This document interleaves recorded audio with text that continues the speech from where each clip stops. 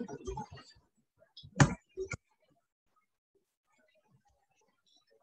morning. Good morning. Good Morning.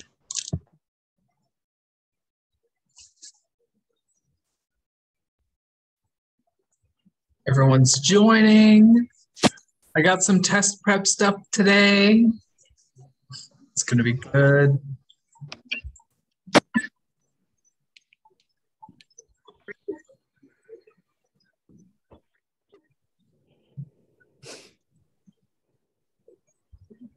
Don't forget to unmute yourselves, turn on your screens and whatnot.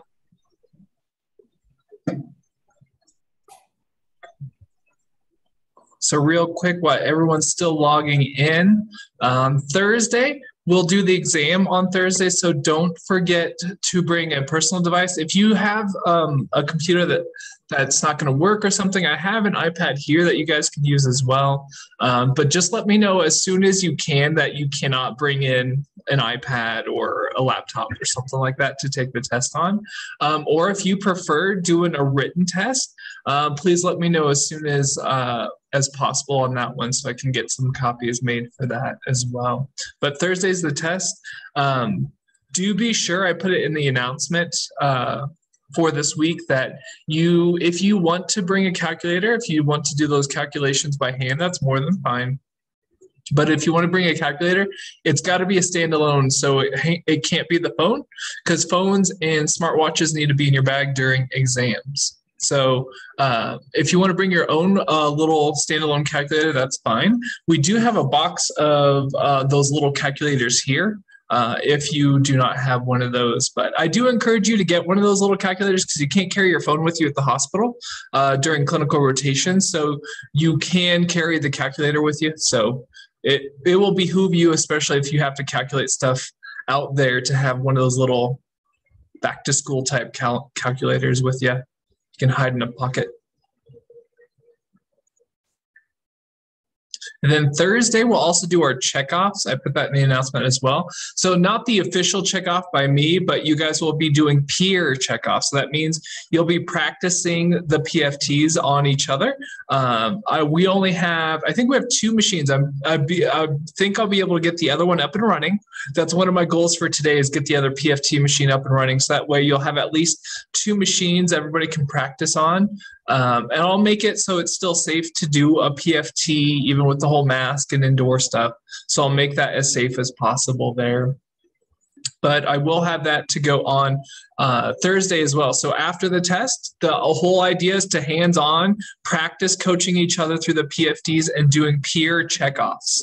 Now, it won't be your official checkoff where I'll have to observe you. We'll put that in in a lab down the road. But I want you to have some hands on practice doing that.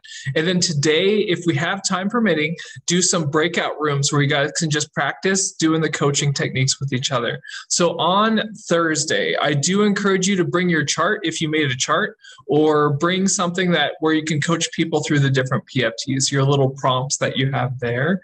That's going to come in very handy on Thursday. Whew, that's a lot to say at the beginning. Then we're going to go into EKG world starting the week after. So next week we start EKGs. It's going to be fun.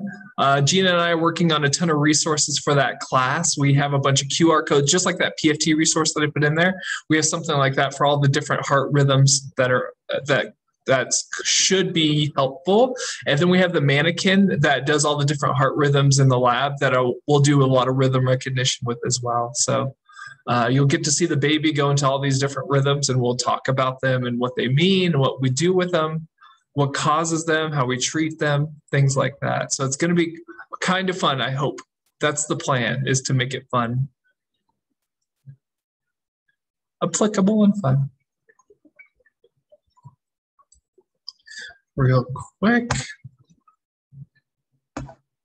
All right, so as far as the announcements go, um, good job on the charts. Uh, most of you did the charts. Uh, good job on the charts overall. I did put those in as an MRE grade, so hopefully you've seen that little bump in your grade overall. I thought that would be a nice little bonus, so hopefully you didn't mind that. Um, but that did bump a lot of your grades in a positive direction. So um, that's something I did there. So if you did see your bump in a grade, it was because I turned that um, discussion post where it was either the video or the chart into an MRE grade.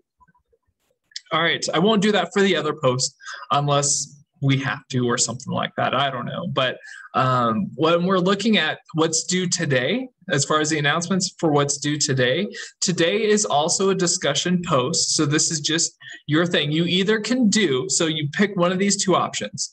You're either going to post to that discussion board a two page study guide. So two page study guide. So that's you bullet pointing the main points of the PFT information. Or if you don't want to do that, if that's not something you already have going on, that's not something that's useful to you, that's not something that's relevant to you, um, you can post five exam style questions. So you pick your option here. So you either do a two page study guide where you bullet point the main points, some of the big things out there, or five exam style questions with answers, right? And the whole idea here is that you can go through other people's posts and sort of start quizzing yourself and seeing, do I know this information? Do I have this down? It helps you prepare, sort of like what we're doing today with that escape room activity. So that's your option for today either the study guide and i'll try to give you enough time to do that today a study guide or five exam style questions from the pft information with answers right put those answers like slide number 17 or whatever it is or page number this uh, in the Egan's book. Um, so don't forget about those. That is due today. So just either five exam style questions with answers or post your two page study guide right? And this is meant for you guys to look at each other's uh, questions or study guides and start to look at do I have this information down? The sooner you start uh, preparing for the test on Thursday, the more it's going to be in your long term memory. So, under stress of being in the classroom again, taking a test in the classroom again, I don't want that being a huge factor. I know it will be somewhat of a factor, but um, if you're able to sort of review today and almost pretend like the test is today, like you're cramming for the test today, sort of, Thursday is going to be a lot less stressful for you, especially Wednesday night into Thursday will be a lot less stressful for you. So the sooner you can do that, the better. Uh, but that's what's due today, right? Just do five questions with answers or the study guide. Thursday, the big thing there is exam one will take in class in on your device of some sort that you'll bring here. Just let me know ahead of time. Send me a quick email um, ddavis at pmi.edu if you need a device or if you prefer a paper copy of the test. Uh, then be prepared to check each other off on the peabody.com, do peer checkoffs uh, like we did with Stacy last, I think it was Thursday. Um, so to do peer checkoffs with pulmonary function testing, and then we'll do the, the full lab checkoff later on down the road. We'll combine it in either the EKG or the ABG lab there. All right. Whew. Questions about the announcements or schedule or anything like that?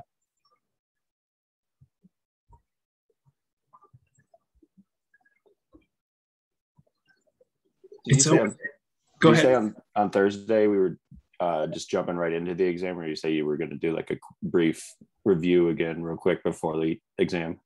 Yeah, and I always do that too. So it's up to you. Um, if you want to, as a class, right? So this is where I leave it up to you as a class. Some classes, they're just, they're nervous. Their brain's not going to absorb anything the morning of or the day of the test. So they're just like, let's get it out. Like my brain is just full. I have anxiety. I'm not going to retain anything. Let's just start the test. So some people, some classes as a course love to do that.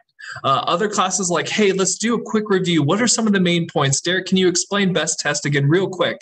And maybe something will sneak in uh, right before you take the test, right? So that's up to you as a course. So if you want to, I'll obviously be here early, right? I usually am here around 740 or so at the latest. But um, if you want to come in early, quiz each other, uh, I'll be in here, right? I'll, I'll be here to help you guys out if you want to do some of that review beforehand as well. That's up to you but yeah, if you want to start up with, hey, explain this, explain that, or let's talk about this one more time, that's okay.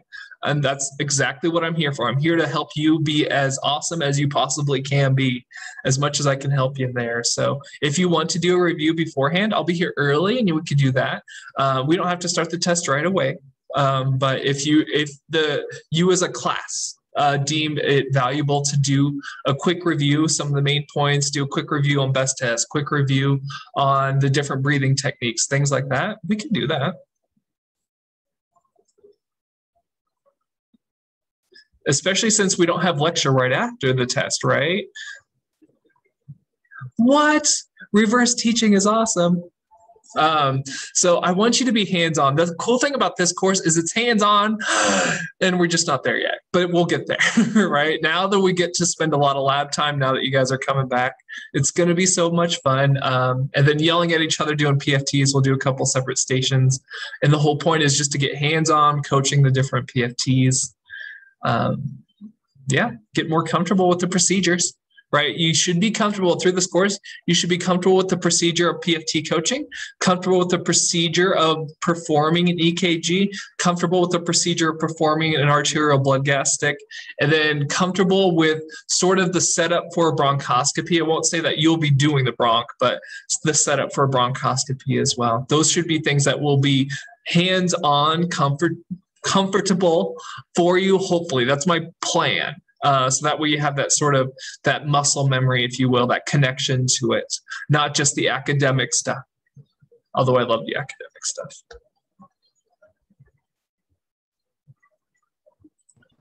Sorry, Gary, I took Jason's question. All right, go ahead.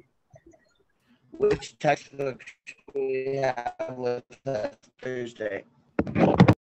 So Thursday, if you want to bring the Understanding EKGs textbook, uh, if you want to start on that. So what I recommend is when we're doing the peer checkoffs, is if you're not doing the PFTs. If you're not doing the PFTs, I'll repeat that again, then start looking at the EKG information. So that's the Understanding EKG books. It's very small book, right? It's very thin book, not small, but thin book. Uh, and that's the book that we're going to start off with next. Is under there it is. Jason's holding it up the Understanding EKGs book. So I recommend starting to look at that Yes. Um, so that's going to be very helpful. The sooner you start, like I said, the toughest part of this course is usually the understanding EKGs part, right? If you don't have a background in EKGs, that's usually the toughest part. Uh, like I said, I'm currently I'm in cahoots with Gina to help break this down a little bit more simply to make it more digestible. But I would recommend starting to look at that book, starting to look at that one there. It's very short, very readable. It has a lot of examples and even um, questions in the back there. Uh, I'm not going to make those questions required or anything, but it's good to start start early on the EKG section because that seems like it's going to be a lot very quickly. So I recommend bringing that for Thursday. The other thing I recommend, Oakes all right, I have sticky notes on it. But your Oakes book that has some EKG information in there, just like the PFT information. And I believe it's the chapter right after the PFT information where it actually breaks down. Um, like if you go to, if you have your Oakes in front of you, if you go to 8 13, just as an example, if you go to 8 13, you're going to see a bunch of heart rhythms. And it's going to say, hey, these are the causes of this. This is what it's going to look like. And this is what's going to happen with it. So little things like that can be very helpful on getting a good overview picture of the EKG world that we'll start in on. So if you want to bring your little Oakes books, that not that's not a bad idea, especially since we'll still be doing PFTs that day as well. You can see I'm a big believer in keeping it simple to digest it and then going in on the details as you understand it in general. I don't want you to get lost in all the details. The PR interval is one small box and so on and so forth and so on. I don't want you to get lost in all those details. I want you to get the big picture and then we can zoom in on those little academic details once we got the big picture down.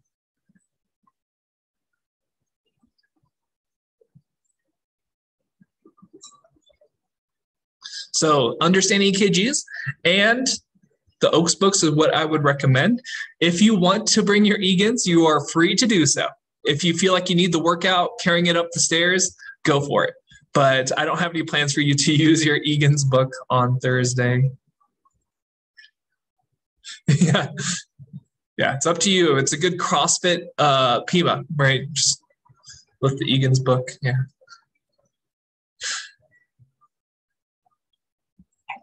Not affiliated with CrossFit, by the way. All right. Other questions? I took those questions and made them too long.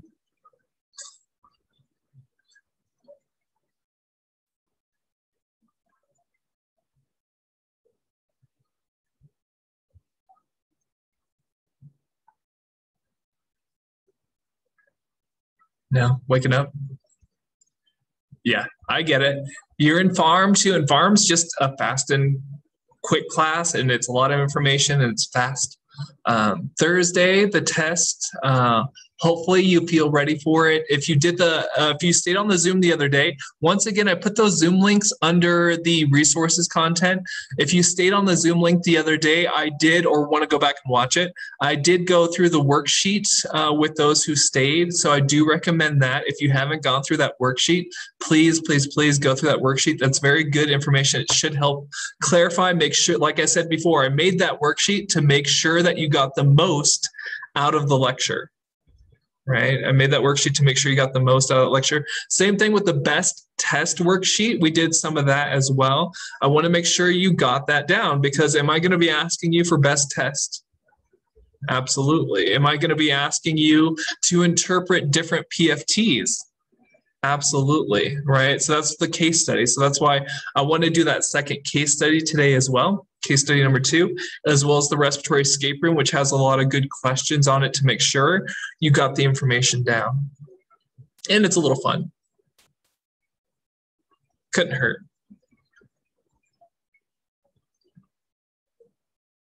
All right, you have your volume and capacity box just in your brain. If you want to bring scrap paper for um, Thursday as well. Uh, like if you have to memory dump, we called it memory dumping. Uh, right before the test, you have your blank piece of paper. And then once we start it, if you want to memory dump the volume and capacity box, if you want to memory dump other things, uh, you are free to do so as well. Uh, just after you're done with your scrap paper, you do have to turn it in.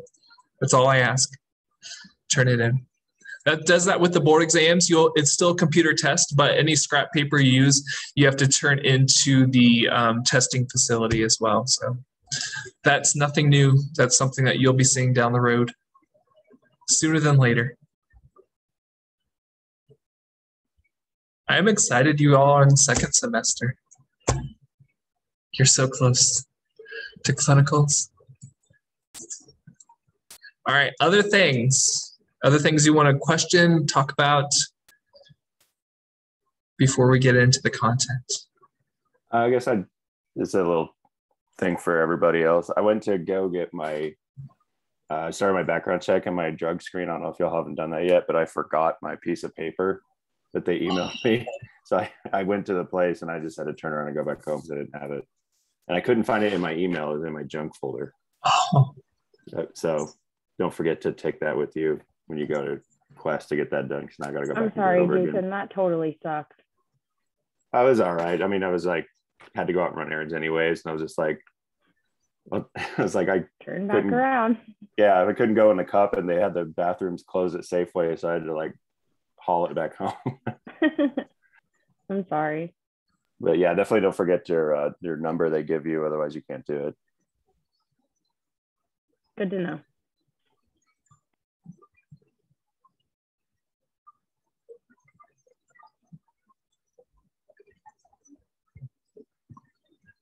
Right.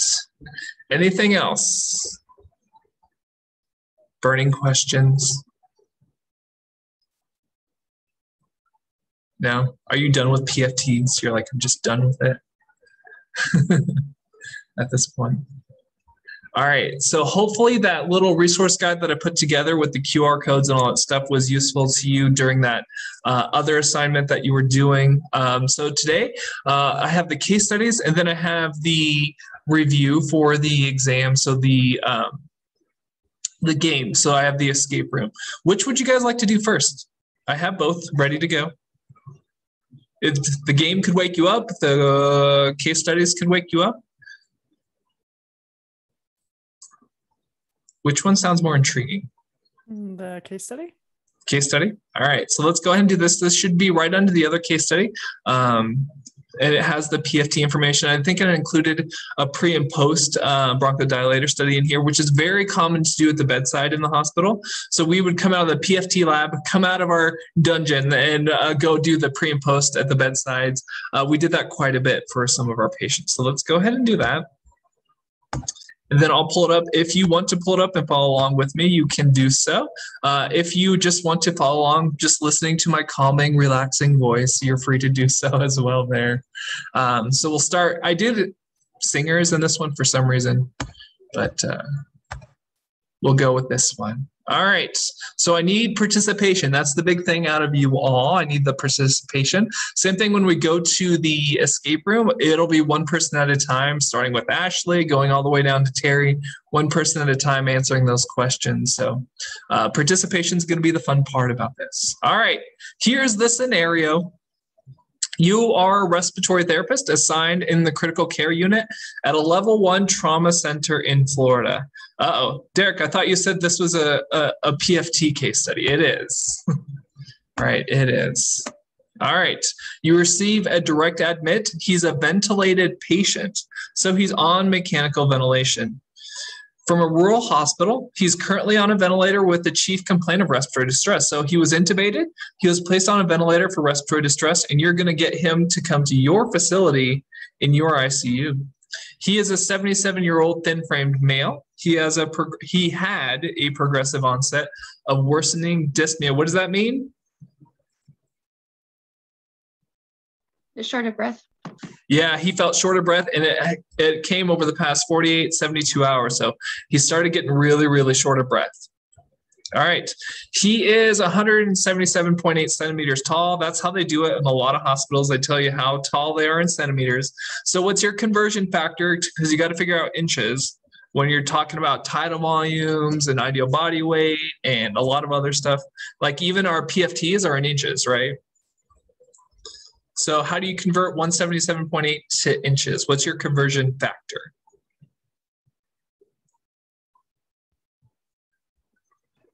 Divide by 2.5.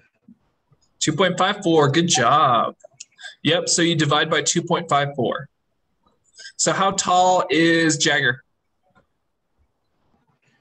We got 70 inches. So Would it be 70 inches? Yeah.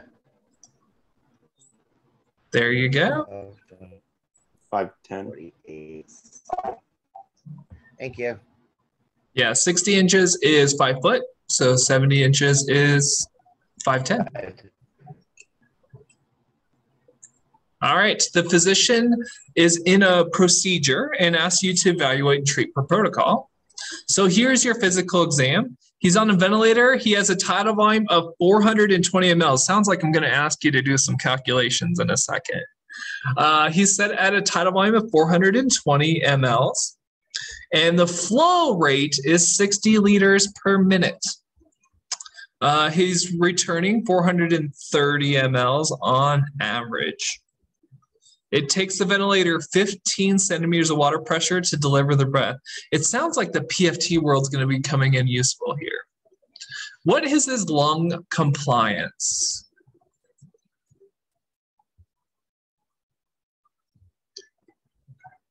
Because does compliance tell us about pulmonary function?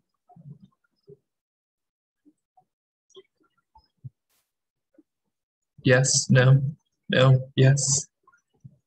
Yes, because it can tell you if you've got like stiffer lungs or kind of floppy lungs. So you're saying it could tell us if we have a restrictive disease process or not. yes, we need to know because that'll help us run mechanical ventilation more effectively, right? So what is his lung compliance? So the, the calculation for lung compliance is? Isn't it pressure divided by volume? Is it pressure divided by volume? Is it The volume unit- over pressure? Yeah, volume over pressure. So the unit is mLs per centimeter of water pressure. mLs per centimeter water pressure. So uh, it'd be 420 over Fifteen. 15. 28. What's that? The answer is 28. 28. So is that a normal lung compliance? It's really low. Yeah, that's really low. So does he have a restrictive disease process? Yes or no? Yes. Yes. so we now know his lungs are super small. So he had trouble breathing in with his dyspnea. We can extrapolate that from what we've gathered so far. What? He's learning critical care medicine in PFT land, right? All right. What is his airway resistance? What's the calculation for airway resistance?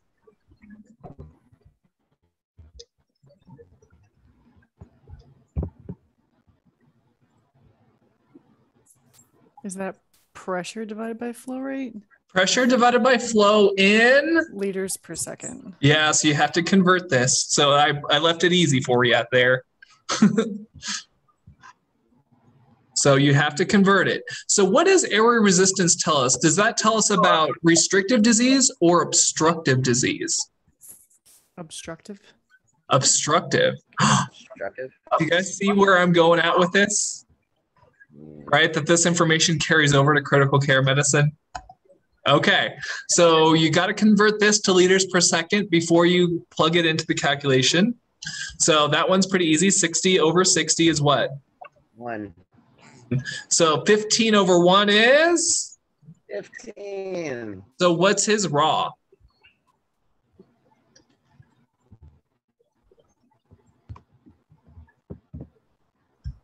Fifteen 15 Liters per second. centimeters H two O per liter per second. There you go. Centimeters of water per liter per second. Whew. It's almost like I'm bringing pulmonary EMP back into this. It's like there was a purpose behind it. All right. So 15, normal, high, low, That's high. high. So based upon what you see with his compliance and his raw, what type of pathophysiologies is currently going on with him?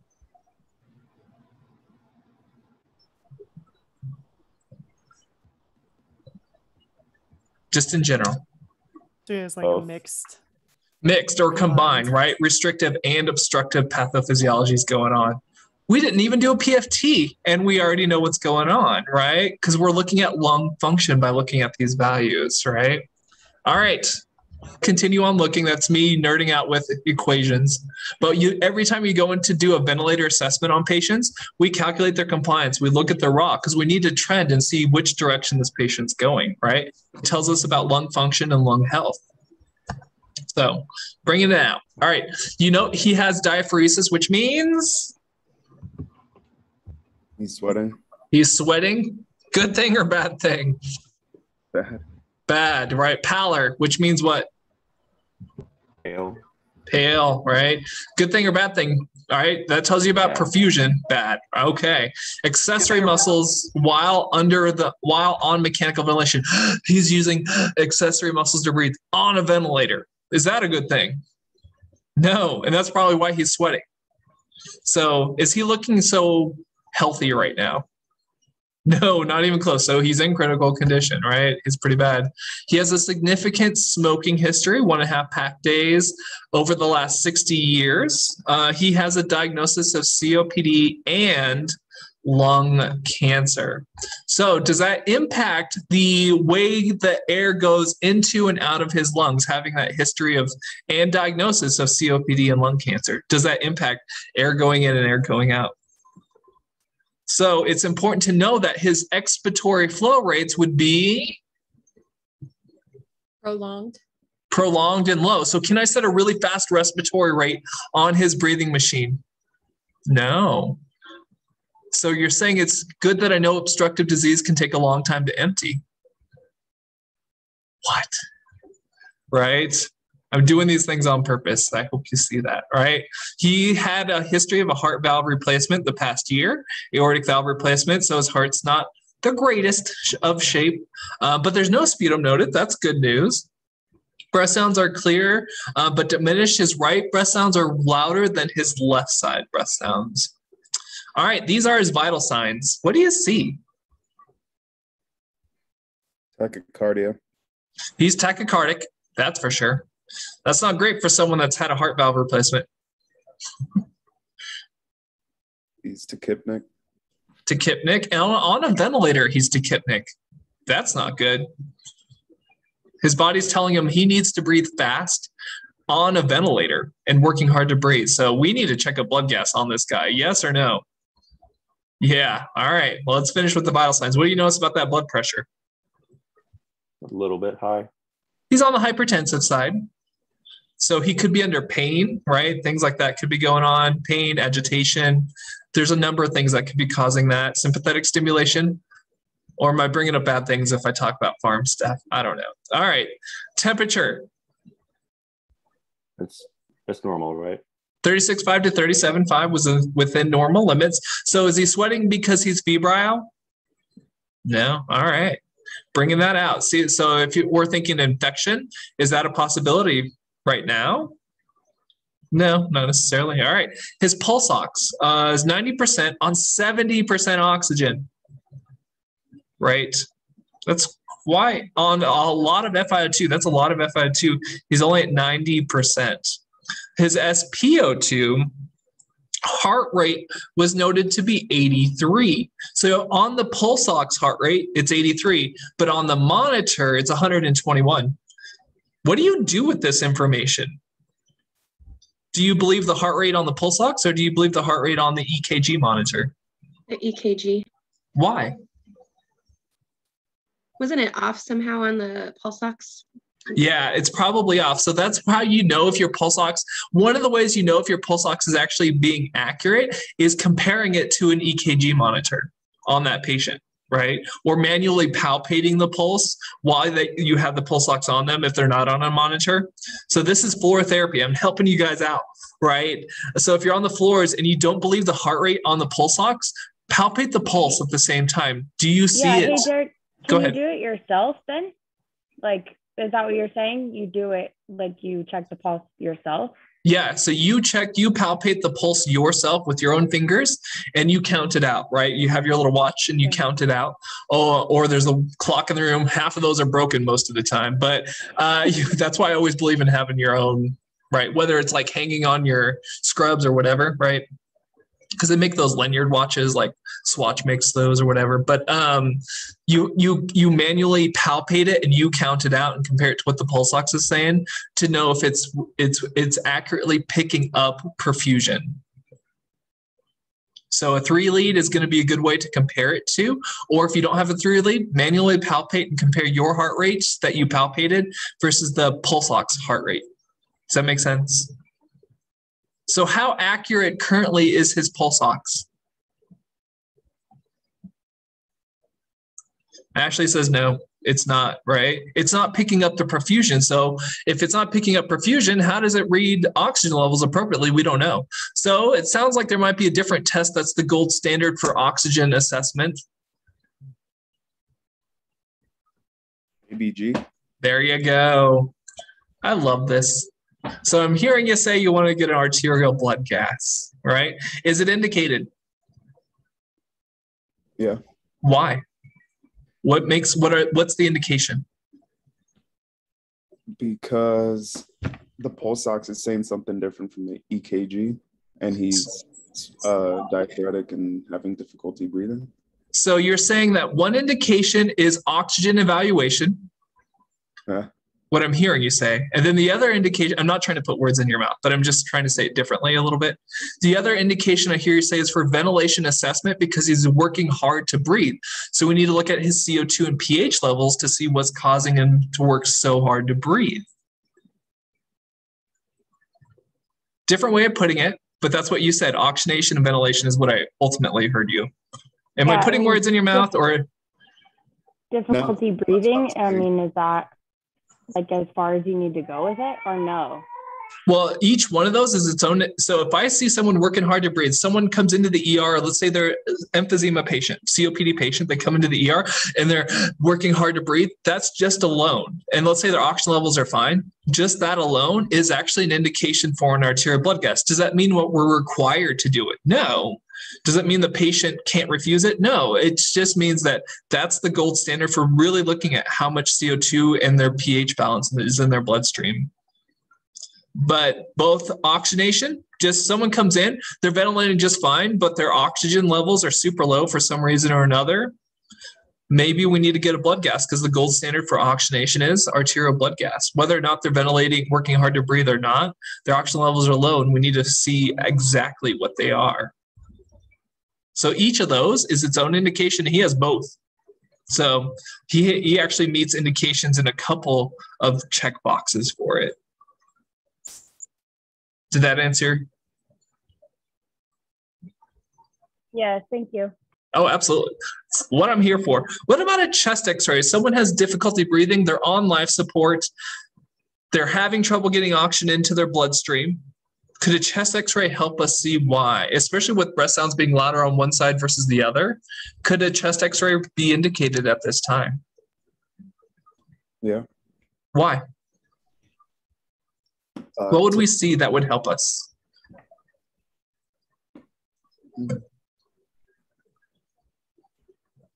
maybe his tubes displaced or something like that? the tube could be deep, it could be high, right? It could be above the vocal cords. I've seen that happen a couple times where it works, especially in transport, right? It can work its way up. What You could else? also see like if his lung cancer has gotten like it's like has spread to other parts of his lung, like maybe the tumor has grown on the right side now or whatever. Yeah, and it could be it could be blocking airflow to different sections. I've seen that, especially right upper lobe is the most common place for a tumor uh, for lung cancer patients, um, for smoking lung cancer patients, I should say. I'll clarify that further. So it usually blocks off airflow to that right upper lobe. And so you can see that on the x ray too. And then if he has a pneumonia, are people that have COPD, remember they paralyze the mucociliary escalator and they're more prone to pulmonary infections. Could he also have a pneumonia that we can then verify on x-ray? Absolutely. He has his perfusion status, right? Remember, he was pale. Could we also look at the cardiac silhouette and see if there's cardiomegaly, like he has heart failure going on, or other things like that going on with cardiovascular status? Absolutely. So, x ray, he has a lot of indications for it. So, that's a good idea. All right. What about doing a bedside spirometry?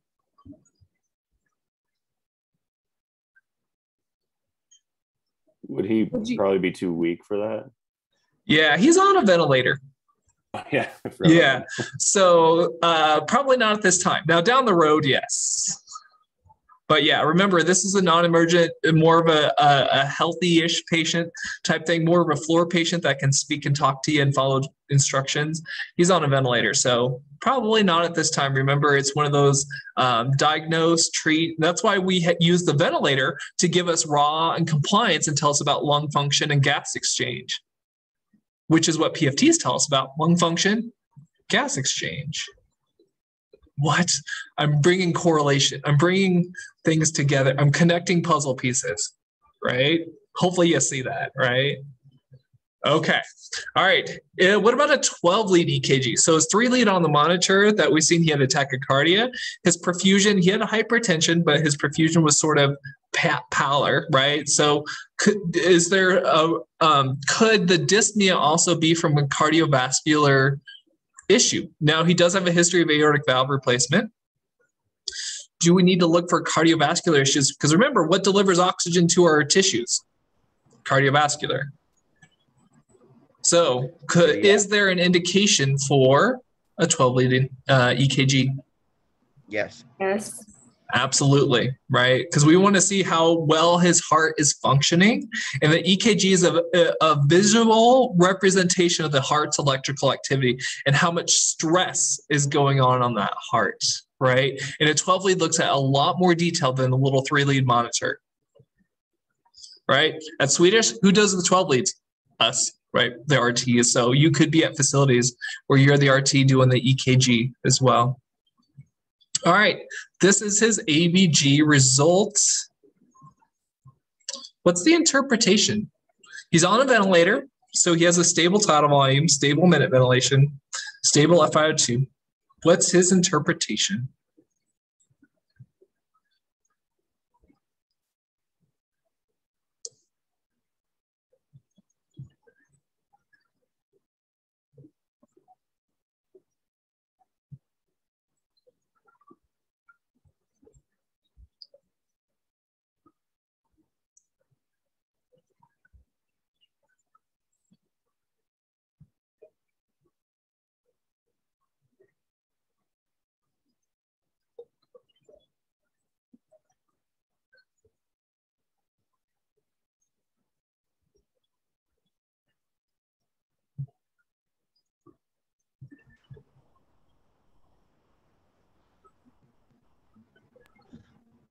So it doesn't look good, but I'm not hundred percent why. If we're being perfectly honest here. His Isn't it like a low. mixed? Sorry, what? Would it be a partially compensated respiratory acidosis with uncorrected hypoxemia? Uncorrected with the PO2 above 60. It'd be Oh, corrected. corrected. uh, Corrected hypoxemia. So let's start at the beginning here, right? Since it's been a hot minute since we've gone over the the, the basics of AKG, uh, A- ABG interpretation. Uh, pH of 730 is Acidic. acidic. So he has an acidosis, right? He has an acidosis. A CO2 of 60 is Acidic.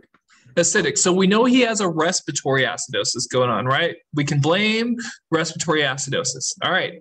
Um, bicarb 32. Basic. basic. So his body is trying to compensate for the respiratory acidosis. Is it fully compensated by having a normal pH?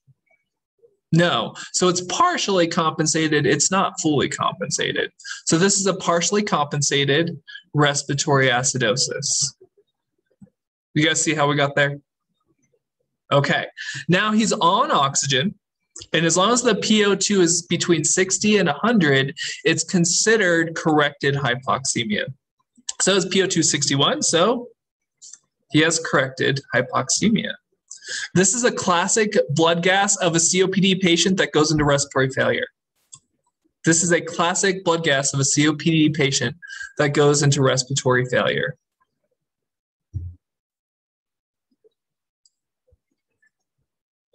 The cool thing about this, if you see this on a vented patient, can we correct for this?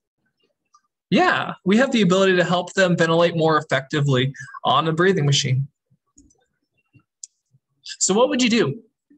You know that he has a long expiratory time constant because of his COPD. So, can you bump up the respiratory rate on the ventilator and hope for the best? Because if you bump up the respiratory rate, what's going to happen with his air trapping, his auto? Is he going to ventilate better or worse if that if you bump up the respiratory rate? Worse. Worse. Okay. So I know would, we're- you, would you make it so that he has a longer expiratory? Yeah, you want a longer expiratory time constant. Absolutely. So that way he can completely empty his lungs, right? Remember when I was being coached, I don't remember if it was Jason or someone, someone was coaching me through the, the forced vital maneuver, and I was lasting a little bit longer than six because of my asthma, right? Because it takes me that extra because my small airways are small airways. so that's what you're looking at here is do we want to help him ventilate more effectively? Well, with his disease process, I can be a good critical care provider and understand his disease process, and it needs to have a longer expiratory time constant. So if I give him a faster flow rate to deliver his breath, then I'm going to have a longer expiratory time to allow for that breath to come all the way out. So even if I make his flow rate for the ventilator faster, I'm going to actually help ventilate him better without turning up his tidal volume, without increasing the ventilator pressure or volume. I can make him breathe more effectively, but by just giving him the gas faster. That's it, because it allows for more time for him to exhale. That's all I'm doing. I'm giving him a longer IDE ratio. This is his chest x ray. All right, I know we haven't got over chest x-rays. That's part of this course. Uh, does it look normal? No, what do you notice?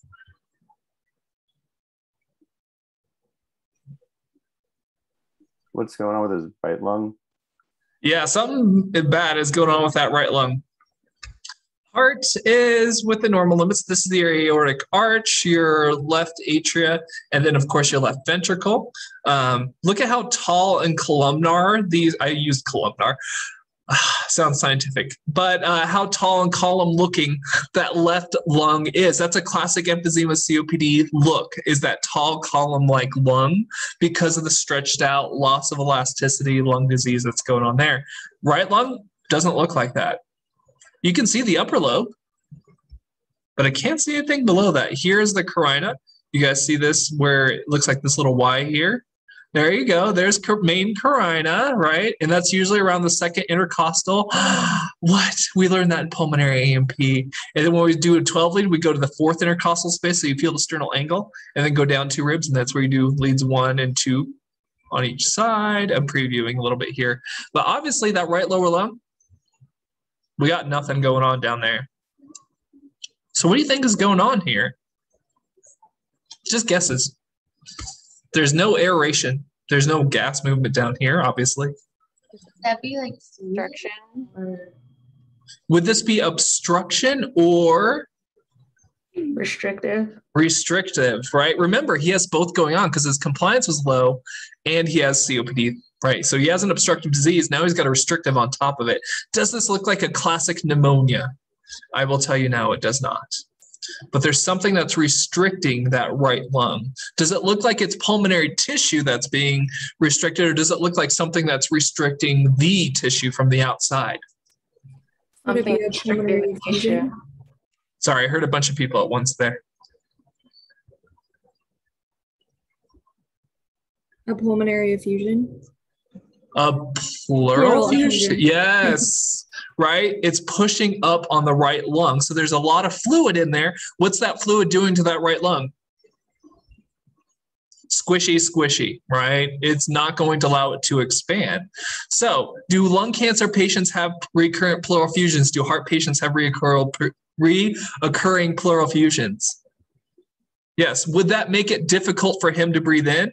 And with his baseline disease, would it make it difficult for him to breathe out? Could he tire out and go into respiratory fatigue? Are you guys starting to see where we're going at with all this information? Yes.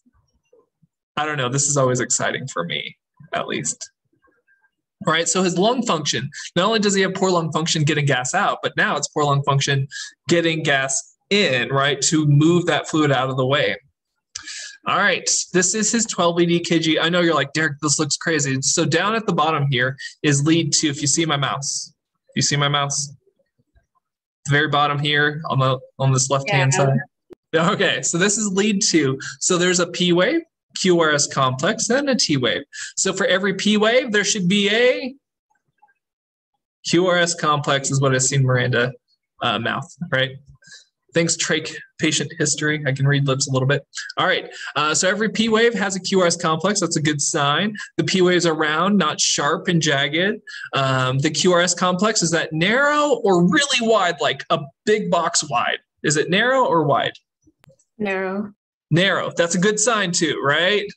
These are all just good general signs that we'll just go over here. So, does it look like there's a lot of crazy things going on with what you can see down here? Does it look like a very abnormal rhythm? Does it look pretty consistent with how many boxes there are in between the R waves? Does that look very consistent? That would be a regular rhythm if there was. Does that look consistent between R to R, R to R? Yes. So does it look like there's a some very serious cardiovascular pathology that we can see right now on here? No. No. So this helps rule out some things, doesn't it? Right? Do I see an ST elevation that could look like a heart attack going on, like a STEMI, ST myocardial infarction, a STEMI? I don't see that, right? And that would be in multiple leads, right? So I'm not seeing those things. So could this help with sort of ruling out cardiovascular issues? Absolutely. So it was valuable even if it didn't show anything crazy. All right, what do you think caused his issue? Why did he have so much uh, shortness of breath? Why did he go into respiratory failure? Why is he on the ventilator? Was it pleural effusion? Restricting his lung? Yeah, so the pleural fusion on top of baseline pulmonary disease, right? That's that comorbidity there. So, question restricted pathology, obstructive pathology, or combined pathology? Be combined. Combined, right? He had his baseline disease, his baseline COPD, lung cancer, and now he combined it with a pleural fusion, right? Uh, ooh, going back to the VQ PowerPoint, shunt or dead space? Remember, dead space, if you're not perfusing, you're dead. So dead space is is ventilation with no blood flow. So something's wrong with the perfusion, something's wrong with cardiovascular status. and then shunt's the opposite. So that means you're you have poor oxygenation, you have poor ventilation, but your blood flow is doing okay. Oh, you had a shunt? Yes, right. This is shunt pathophysiology. So is this a cardiovascular fix? Do we put him on heart medicine? Do we put him on a ton of saline through his IVs to fix this? Do we give him red blood cells? Is that the fix for this? No. No, because that would be dead space fix. Yeah, and his blood flow you said is good with the shunt. Yeah, so now we need to figure out what's the primary cause of his shunting. And in his case, he has some cause with his baseline disease, but what's primarily causing a shunt right now? Pleural effusion. Pleural fusion. So we need to tap that, right? We need to do a thoracentesis to drain it or put in a chest tube. Does that make sense? That's what it's causing that shunt because he has blood flow. But what happened to all that tissue? It gets squished up. Is it able to ventilate if you have tissue that's just closed up? You can't ventilate tissue that's closed up, right? It has good perfusion, but it's closed up. So that's shunting. I have perfusion that's not ventilating. All right. So he has shunt like pathophysiology. Can we fix it? Yeah.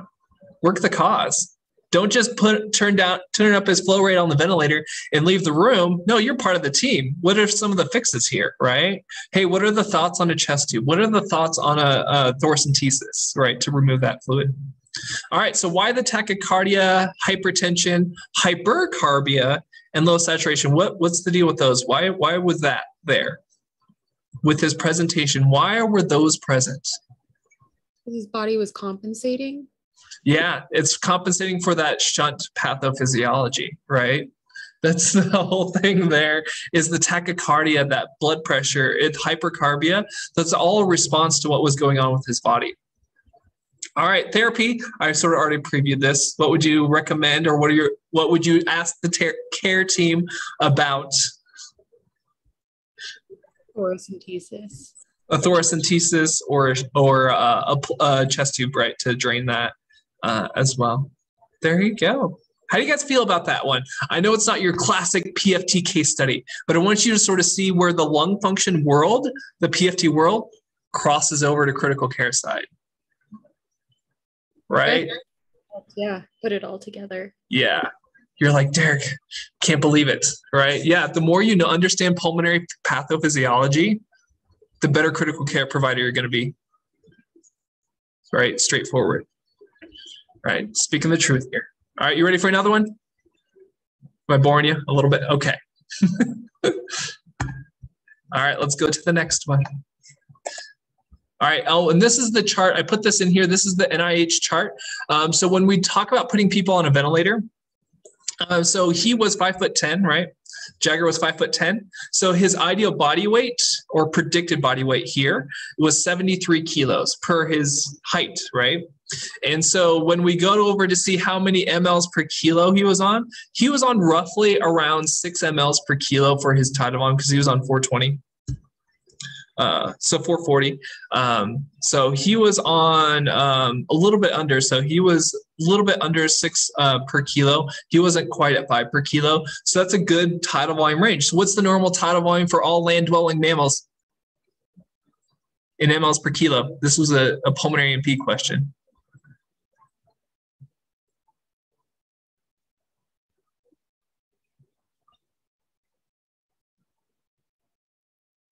Was it five to seven? Five to seven mLs per kilo per ideal body weight. Yeah. So right around six per kilo, is that an appropriate tidal volume to put them on a ventilator with? Yeah. Does that make sense? So if you know your height and all that other stuff, you can figure out what yours would be here too. Uh, this is something I printed out, and put on the back of my badge for the hospital, right? So someone comes in, I know they're five foot eight, uh, they're female, their ideal body weight 68 kilos. I want to start them at six mLs per kilo. I put them on 380 for the ventilator. That would be their set tidal volume. Right. So this is something a good quick thing for when you do ICUs down the road. But I just want you to sort of see that. All right. Little share. Gotta love it. All right, you're an RT. You're working in an outpatient diagnostics lab. So now you're you're done with the critical care unit for that day. You have a 74 year old thin frame female, uh, scheduled pulmonary function test, diagnosed with moderate persistent asthma. So, just off the board, what are you expecting to see if she has moderate persistent asthma?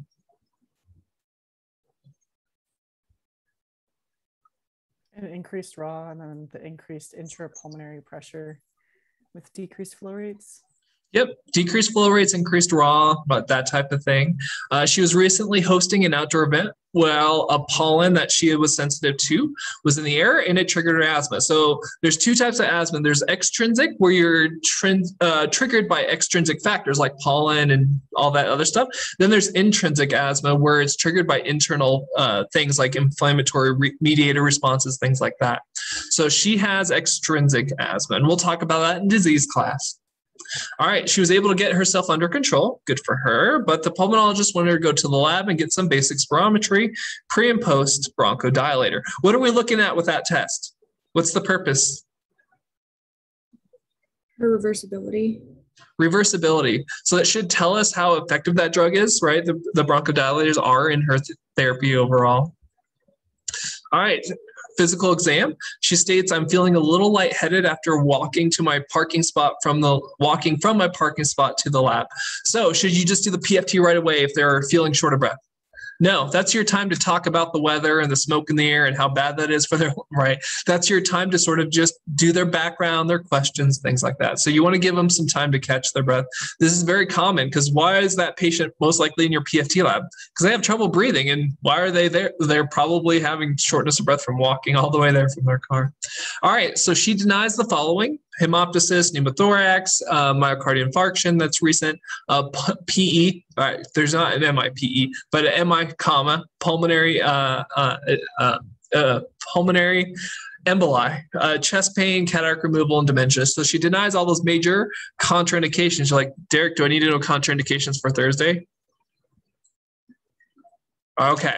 When asked how often she uses her inhaler, she responds, I only take it when I have breathing symptoms, about once a day or so. So should be she be taking it that often? No, so that's that mild persistent. That's that's pretty frequent to be taking a short-acting bronchodilator. She denies any recent infections. That's good, right? Because we want to see her at her baseline for the pre and post. Any known heart issues? None of that. Uh, auscultation. She has some polyphonic wheezing. Ooh, fancy word. What does that mean? Polyphonic wheezing. Is it several different types of wheezing?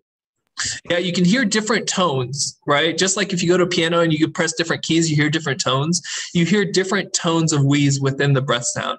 That usually means that that's more of multiple small airways, different size small airways, like an organ, right? Different small airways that are that are closing at different rates, and that's what's causing those different sounds that's going on there. If you hear a monophonic wheeze like stridor, that's monophonic. It's one tone, and it's usually an obstruction that it's going through. And right, if you're polyphonic, it's many obstructions. So that's usually more of an asthmatic type wheeze. All right, vital signs. What do you see?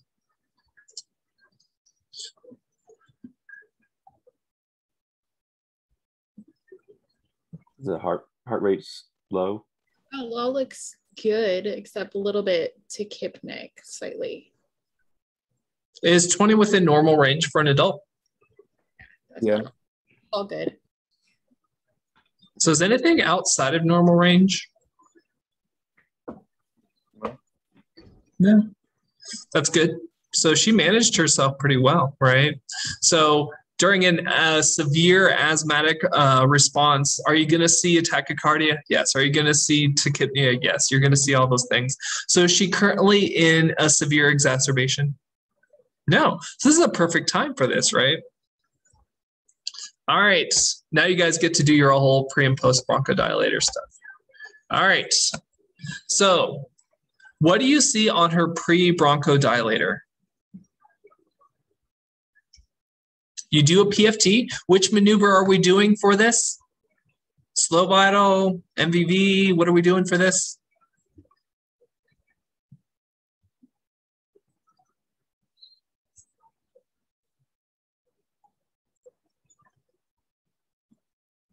Which maneuver would we do for a pre and post?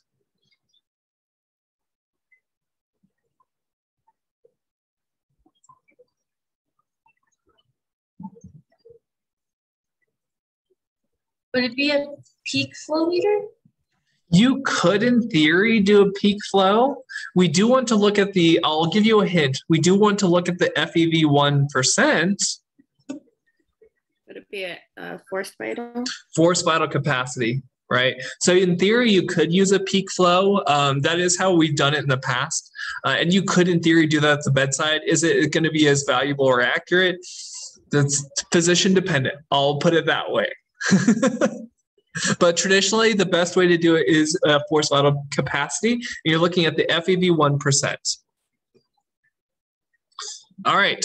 So we do a pre-bronchodilator PFT on her. What do you notice? What's the interpretation that you get from this pre-bronchodilator PFT? What do you see? And we did a slow vital on her, which is good, especially if we think she has obstructive disease. So she have low volume? No. Good thing you did a slow vital capacity, right? Because otherwise it would look like she has a combined. Smart move. You've been trained well. All right. Uh, so forced vital capacity is low, but her slow vital capacity is normal. FEV one, one to FVC is Low. low, which is your gold standard, FEV 1%, which is your gold standard for evaluating Obstructive. obstructive lung disease, right? FEV1. All right. 25 to 75 tells you about big airways or small airways? Small. All airway. Small. Is that normal? 63%? Nope. Uh, 200 to 1200, big airways or small airways? Big airways, like your trachea, vocal cords, things like that, right? Peak expiratory flow rate, 68%, right? So that would be like the peak flow, like what Chriselle was saying, right? So that's low. So is this restrictive, obstructive, or combined for her pre-bronchodilator?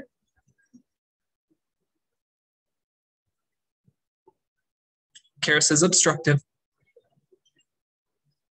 Agree, disagree? feel like I'm losing y'all. All right, post bronchodilator. All right, these are her percents of predicted. What did you see? Sorry, what did you see? FVC improved. FVC, uh, it improved. How much? Because what are we looking for? FVC to improve by how much in mLs? I didn't give you the mLs, but how many mLs would we want to look for it to improve by? 200 mLs. 200 mLs, right? All right, but the other thing we're looking at for for a positive bronchodilator response would be what? What's the other value we look at for pre and post? Your FEV1. FEV one percent. We want to see it increase by at least Twelve percent.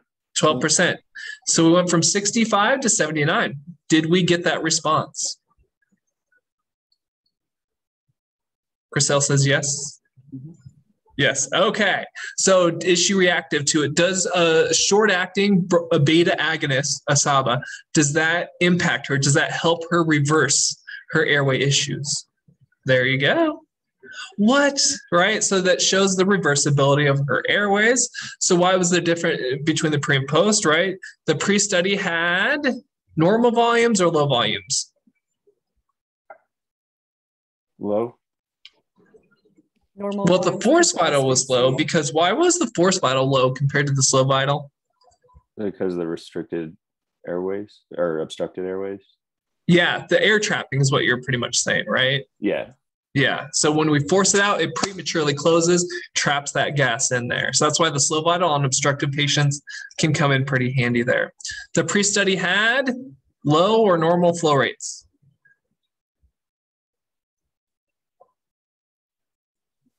Low. Low, right?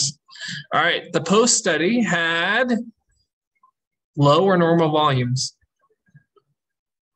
Normal. Normal, right? The post study had what flow rates? Low or normal? Normal. Normal, right? So we brought her back to a good baseline.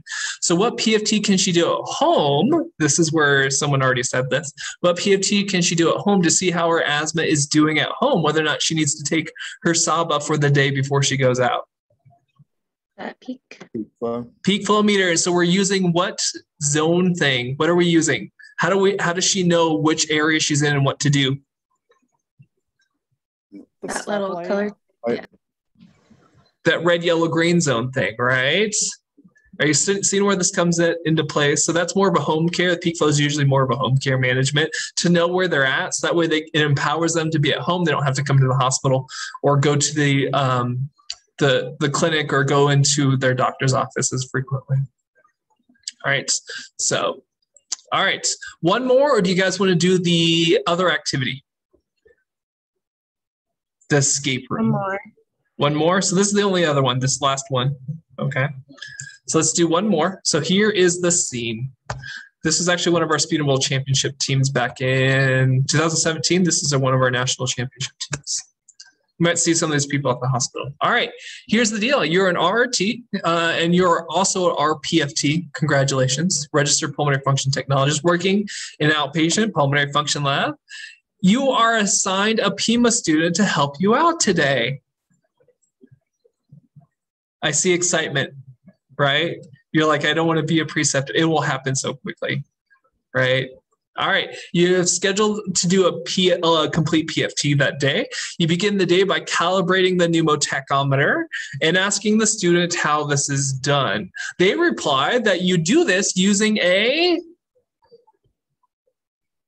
Three liter. three liter super syringe at Three different flow rates. Yes, that's actually a Sputum Bowl question that these guys missed at nationals. I was so furious. All right, don't miss that.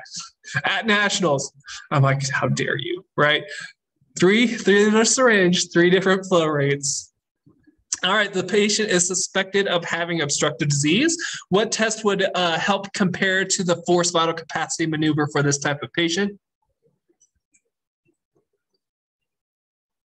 The SVC. There you go.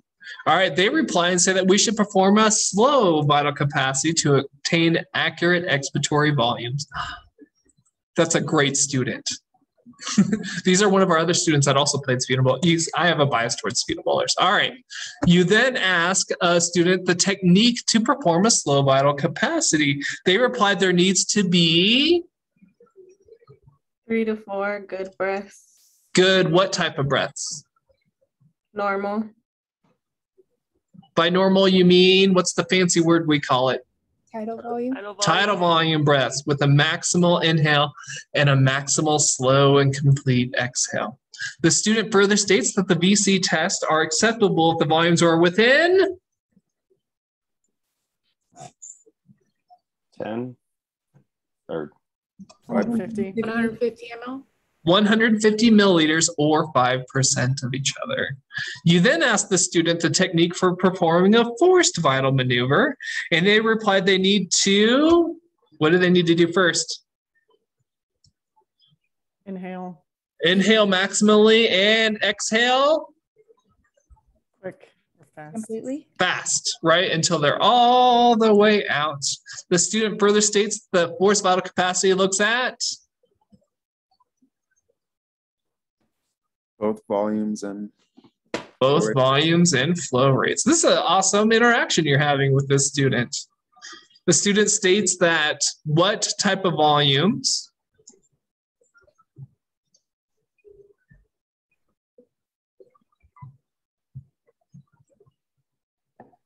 Low. Low volumes indicate Restrictive. restrictive pathology and low flow rates indicate obstructive. obstructive pathology, right? You ask a normal pulmonary function values are determined. They replied that, hey, there's three factors that go into determining this. It is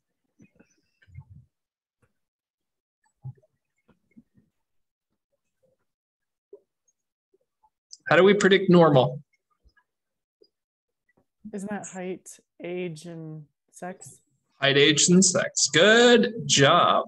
All right, now you get to the actual patient. That's just your interaction with your student. That's good time. They were well prepared. All right, you have an 81 year old thin frame female show up for her scheduled PFT and baseline ABG. Will I ask you to interpret ABG on this test? Yes. All right. So go take a peek at that because that's part of PFT. That's part of diagnostics world is interpreting outpatient PFTs as well. She denies all the contraindications. She denies any recent pulmonary infections. This is good. She denies any known heart issues or swollen extremities. Swollen extremities is usually a sign of like heart failure, um, things like that. All right, she's being evaluated for disability uh, and getting uh, after getting a diagnosis of IPF. What's IPF? Does anyone know?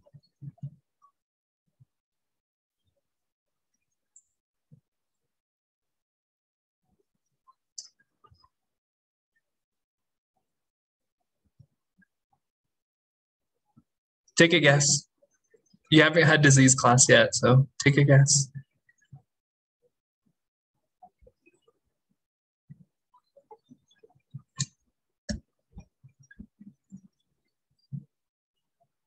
F stands for fibrosis.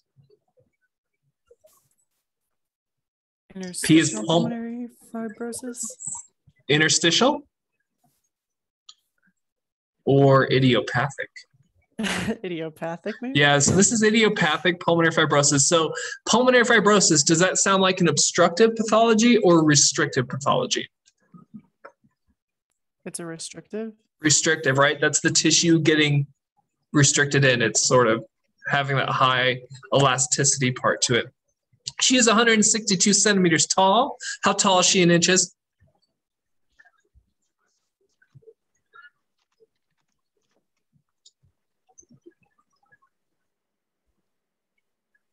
Five four. Five four. Five four. What? You guys are rocking this. Okay. Uh, vital signs. What do you notice? Anything uh, sticking out?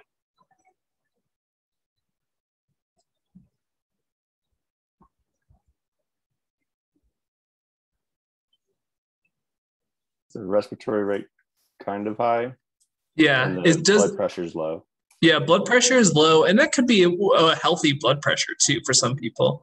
Um, with a high respiratory rate, if you go back to pulmonary A&P, I know it was a while ago, but if you go back to there, we talked about how with l- high elasticity, with the lung compliance being low, what does your lungs do? What does your body do to compensate for not being able to breathe deep? If you can't breathe deep, you're, it's going to tell your brainstem to breathe Faster.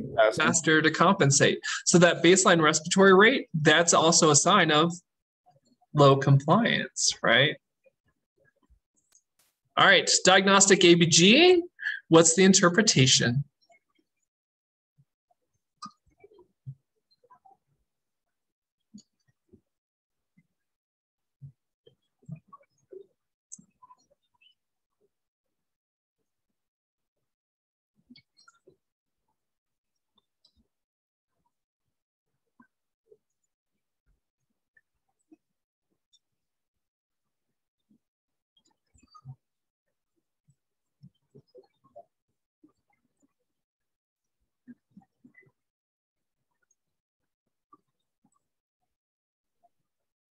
Would it be metabolic alkalosis with corrected hypoxia?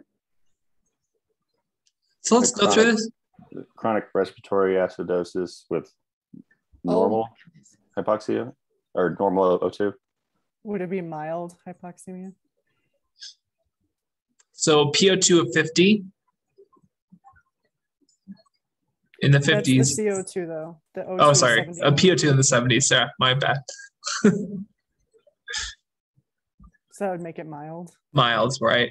So a 736 is with the normal limits, right? So that this is either a compensated or a perfect blood gas.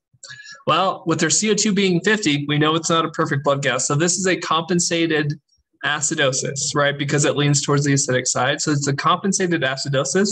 Respiratory is to blame for that. So this is a compensated respiratory acidosis. The bicarb is in a basic side, right? So that's why it's a compensated respiratory acidosis and it's on room with mild hypoxemia. So 94% on room air. It's really pretty good uh, for Colorado, especially if she was in Colorado. All right, here's her diagnostic PFT. You do a DLCO on her, right? That's not the first test you do, but I'm just giving you some front, front information here. Uh, DLCO is 18 mLs per minute per millimeter mercury. Normal? Slow. Low. Interesting. All right, spontaneous lung compliance study, which we can do this in the PFT lab without you being on the ventilator. It's an esophageal balloon. We look at the, the pleural pressure by looking at your esophageal pressure. It's pretty cool. So we can see the change of pressure with the change of volume, which then we can calculate compliance. Um, spontaneous lung compliance is at 40 mLs per centimeter water.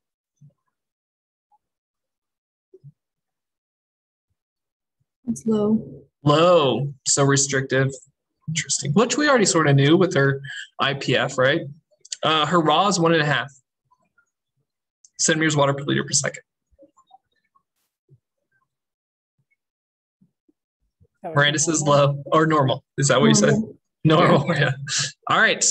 Tell me the interpretation of her PFT. I know I'm giving you everything here. That's how the real. What's that? Her slow vital is low.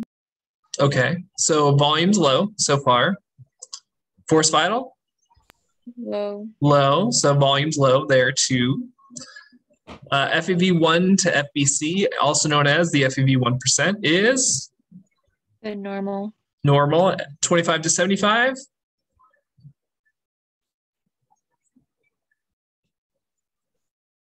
That norm? Normal, right? Uh, 200 to 1200, also flow rate. Normal. Normal. Do you really need to move on? Okay, I'm just trying to help you out. Okay, you can look through the whole report, and it's a good thing, good practice to do that.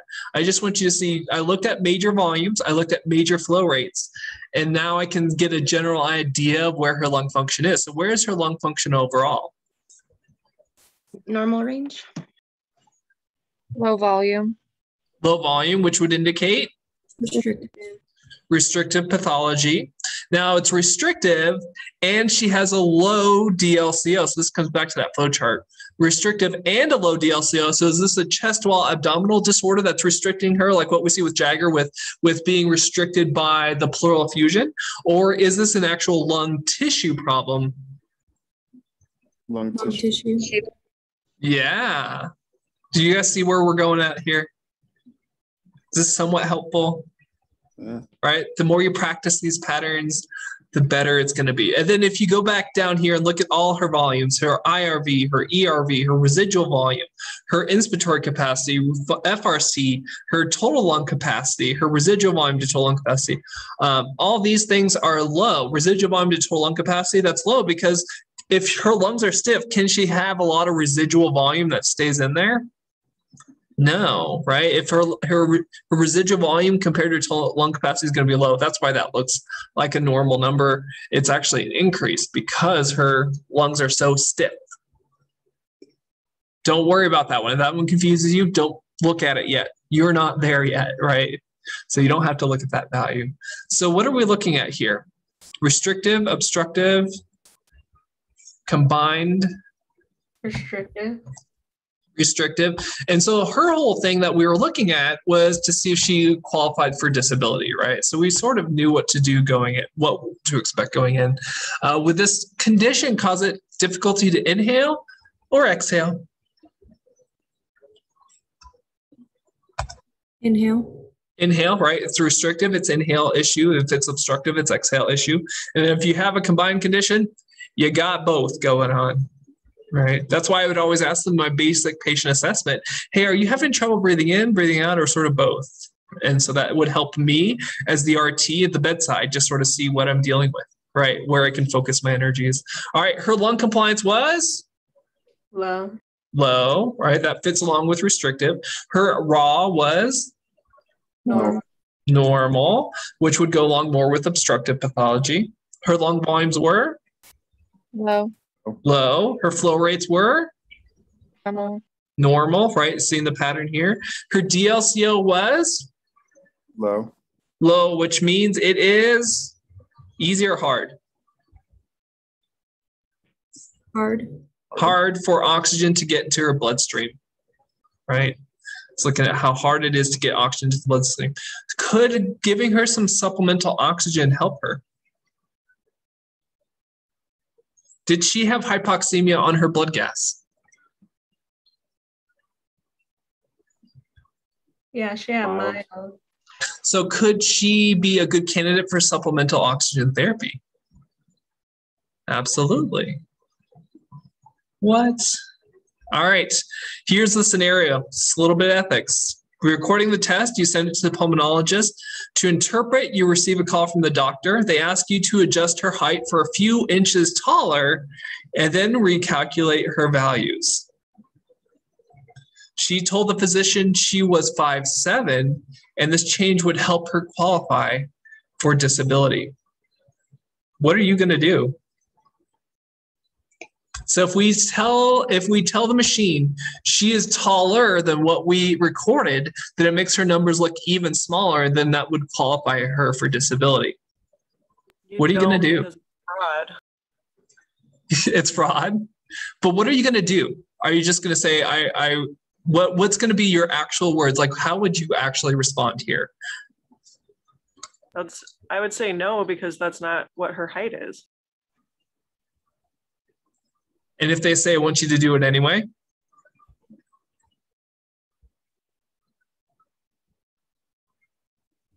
Can you retake her height and then tell the physician? Now, with me, does it sound like I had this exact scenario? Yeah. Um, so I want to prepare you, right? I'd rather have you think about this now than then. Does that make sense? Right? A little bit of extra, right? A little extra here in, in diagnostics class. But when I took, when we get a patient to the PFT lab, I would weigh and measure them right there, right? We have the scale that has the height thing on it. So I would weigh and measure them that day, right? So I don't just go by what their driver's license says or what they say they are. Um, I go by what I actually have measured. Um, so this is the question now is how are you going to respond, right? I want you to think about this now. What is ethically appropriate? What is best overall way to do this, right? How would you respond? All right. And if you refuse to change the numbers, then they start calling you an uneducated tech. Happened to me, right? How would you respond to that? They went to an emotional place, right? Understand they just went to an attack. They went to an emotional place. How are you going to respond? What are you going to say? What's going to be your plan? What are you going to do? Wouldn't you need to get like your supervisor involved? Uh, it's not a bad idea to let them know that this situation's happening, but this is you're on the phone with them and you're having this discussion. We could call it that, I guess. Uh, you're having that discussion. So are you just going to hang up on them and then call your supervisor and just hope they, right? Is that? Um, when I was like an MA and I had to do disability paperwork for cardiac patients, when they ask for stuff like that, I just kind of um clarify like I'm I cannot do that. That's um, illegal and it's lying on medical documentation, which is something I won't do. And then if they start attacking or getting defensive, I just tell them like um I'm not gonna allow you to talk to me like that. I can give you a couple seconds to calm down, or I'm not going to assist you any further, and I could get you a supervisor. That, that's kind of how they told us to handle it. Like you try to talk to them, and if they're still rude to you and stuff, like you don't have to take that. Like reassure them that there's still going to be help and you're still going to get help, but just not from me because you're not treated. Yeah, don't let it go into your heart. Don't let you go to that place too. Don't respond in that type of way. Does that make sense? Right? Because you're gonna, you'll never regret you having a positive response to that. Go ahead. I was just gonna say it's just always better to just not engage. Like don't don't respond the same way they responded to you. Always stay like in an unemotional place when they start getting emotional towards you. Yeah, in this case, I knew this physician well, uh, and I knew that she was just in a stressful place, right? And I knew that she just got done with the code like two hours before, right? I knew exactly what was going on in her because I was at that code with her, right? And then I went down to the PFT lab to do the PFT. Um, so I knew that that was the case. I knew she was in a hungry, angry, lonely, tired, right? The halt space, right? And so I knew she was just in a bad space right now and she was where she was. And so it's like i just got to understand do i want to engage with that like what Chriselle's saying or do i want to sort of just respond in kind and be like so this is what i have and this is how i directly measured it. Um, but if you want to talk about this further we can talk about that. But at this point um, uh, we can schedule that meeting. But at this point uh, i need to move on type thing right? Get them let them get out of that space. Because in that current space of attack mode are you going to get a lot accomplished? Right? That's the question there, right? Go get her a Snickers bar, right? Help her through, right? So, some just gentle tips here, right? So, these are some things that I've learned over my career. You can take these or not, right? These are your options, right? Decide how you're going to respond now uh, before when you find that difficult situation. When a trach patient says, You weren't suctioning me deep enough, and I don't believe in carina stabbing, and then he's angry, but he's in pain, right? He's in back pain, he's in so on and so forth pain. It's the pain that's controlling their brain, and that brain is not in a good, calm state right? How are you going to take it to heart right? Is this situation in this situation should you halt right? Not only are you thinking about is that other person hungry angry lonely tired right? But also are you in a position where you should halt? Are you hungry? Are you angry? Are you lonely? Are you tired right? Are is something going on with you that day? Because does life happen to us as providers too right? You could just get done seeing a kid die in front of you and have to move on to the next patient, the next patient, right? So could there be a situation where you should halt with these types of interactions where you could accidentally take it out on other people? Absolutely. So you should take a moment. You need that self assessment to be like, should I halt right now? Right? Should I stop? and correct myself? Should I stop and take a moment to regather my thoughts, to regather my emotions, name my emotions, have a plan to address them, and then adjust. Right? Do you guys sort of see where I'm going at here? Right. So it's not just other providers, but it's also yourself. So have a plan in place, right? So you need that.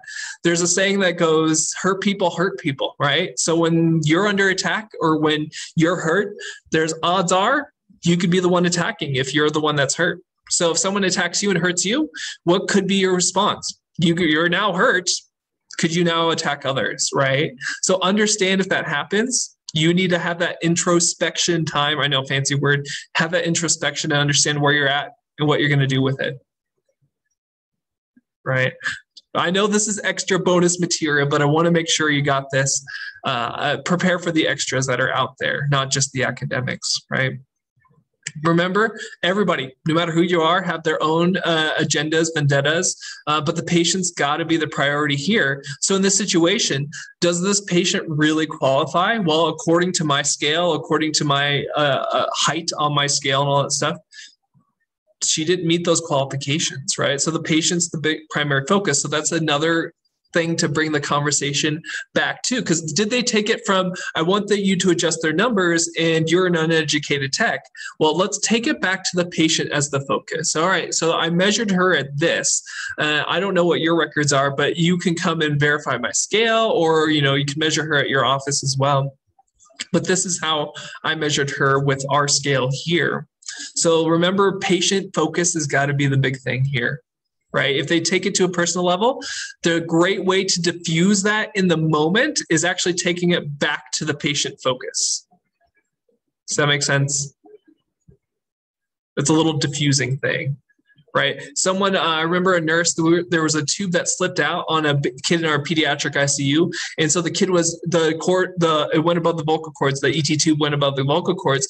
And so the nurse was just like, who taped this tube? And so on and so forth. She was angry at the previous RT or whatever. And I'm like, hey, that's not the focus. Let's go ahead and focus on untaping it and advancing it back in, and we'll resecure it, and then we'll talk about that later. And that was in the moment, right? That was when we are trying to save this kid, get this tube back into the kid's airway, right? So let's focus on this, and then we'll worry about the rest of it in a little bit here. So it's a great little way to diffuse that moment, and that took her out of her anger mindset towards whoever taped the tube previously, and it took her towards okay, let's focus on this, and then we'll deal with the rest later. Does that make sense? Right? So I'm not getting rid of it. I'm just saying, hey, let's focus on this for now, and then we'll focus on the rest later. All right. So communication, direct, distinct, polite, but focus. Um, keep the patient in focus with that whole context, right? Uh, don't take it personally, right? Sometimes, like I said, hurt people hurt people. So if that doctor had their blood sugar low earlier from doing a code and using their mental energy to fix that code, they could be under that circumstance. They could be a little bit more curt than usual. So uh, maybe we have a more consistent interaction later, right?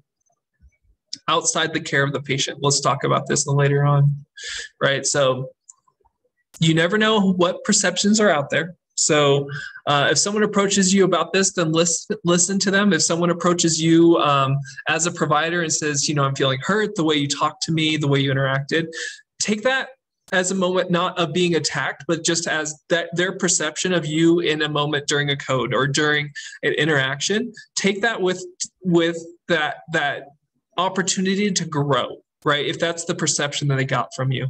So don't ever do that. I still take those opportunities. People like, hey, this is how you came off here. I want to know, right? I want to grow through that scenario. So some keys really quick. Uh, don't let our feelings overrule your ability to provide care, right? So it's okay to have those feelings, but just focus on the patient for the meantime, and we can focus on the rest, right? Justin actually once said, I quoted him here, right? Justin actually once said, we must own that we get offended from previous experiences. So that's our own personal vendettas biases that all of us bring to every daily interaction we do, right? What happened to us in the childhood, we still bring with us to adulthood, right? So this means that your interactions, right, and with others and with you can be impacted by your histories and their histories and impact how they interact with you. So it's not always just about you, how people treat you. Sometimes it's people bringing their own things into it as well. So just understand that, give you some perspective, right? So hopefully you don't down yourself or talk yourself down too much about these type of things, right? So find a way to deal with them in a healthy manner, right? These feelings, you still need to deal with them. You can't just hide them under a rug somewhere, right? You got to find a way to deal with them. And we talked about this in first semester. I think it was Lucas that brought that up in first semester a while ago. How are you going to deal with these emotions when you see a kid died, when you're hungry, angry, lonely, tired at the hospital? What are you going to deal? How are you going to continue to interact? How are you going to continue to take care of your patients? What's going to be your plan? Right. And so I want to want you guys to think about how you're going to develop that right? So don't, uh, so look at the I and the you statements that you have. Don't say you make me feel worthless when you're talking to these people. Say I feel worthless when I'm spoken to that way, right? So that's a way that it avoids the attack in the moment, right? So always use those you words instead of I words, right? Right. Sorry. Don't use the you words, use the I words. I feel this way when this type of situation happens, right? So that's the big thing there. Now, thoughts on this? I wanted to make sure to talk about this because this really did happen to me, right? You're an uneducated tech, so on and so forth, right? And I just got published when that happened, which was kind of funny. But what are your thoughts about this? What are what are your plans? Right? Some of you said that um Chriselle was sharing, like, hey, let's focus on this. I don't need to be talked to this way. Maybe we could talk at a later time. What are some other thoughts you have? I think it's important to just like stand your ground and not like budge at all, like not give up any ground, you know. Um, I deal with people like that a lot at work. I mean, it's it's different working in a restaurant compared to a hospital setting, but people get that way sometimes, and you just have to be like, "Look, man, this is the way it is, and I don't want to get in trouble," you know. Sometimes I also kind of joke with them, like I was like, hey, hey, hey, hey, whoa, whoa, whoa. I need to be I joke with them sometimes. I just like, oh, okay, like you're right. Or just like kind of um, focusing their attention on something else or changing the subject. So sometimes letting them vent about it too kind of helps them too. Um, once they start venting about their frustration, they kind of like realize that they're taking it out on you and they're just like, I'm sorry, I didn't mean to do that. And I'm like, no, it's all good. But you really can't take it personal or it just makes that whole environment really hostile.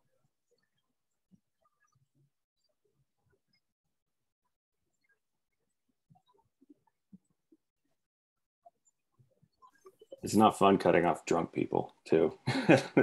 At least in like the restaurant, they're all drunk and not reasonable. And yeah, it's just trying to like even joke around with them just to kind of get on their level, you know, it's be like, hey man, I know you're out having fun. I would be too if I wasn't here, but you know, I got a responsibility to take care of. just kind of try and get on their level. And yeah, joking around kind of helps too. I was going to say, Chriselle, definitely letting them kind of just get their emotions out. When COVID first happened, I had like an 80 year old man who had to like follow up with every single day at the health department.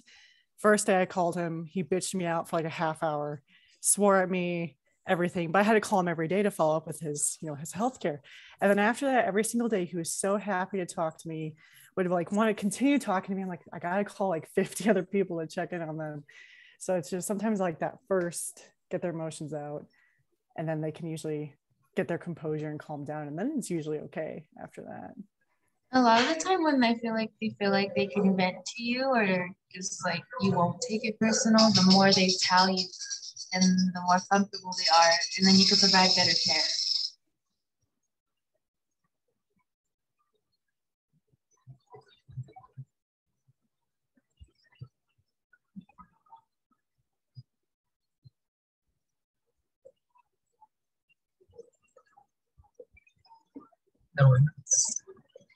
All right, so hopefully you're thinking a little bit about how you're going to approach this.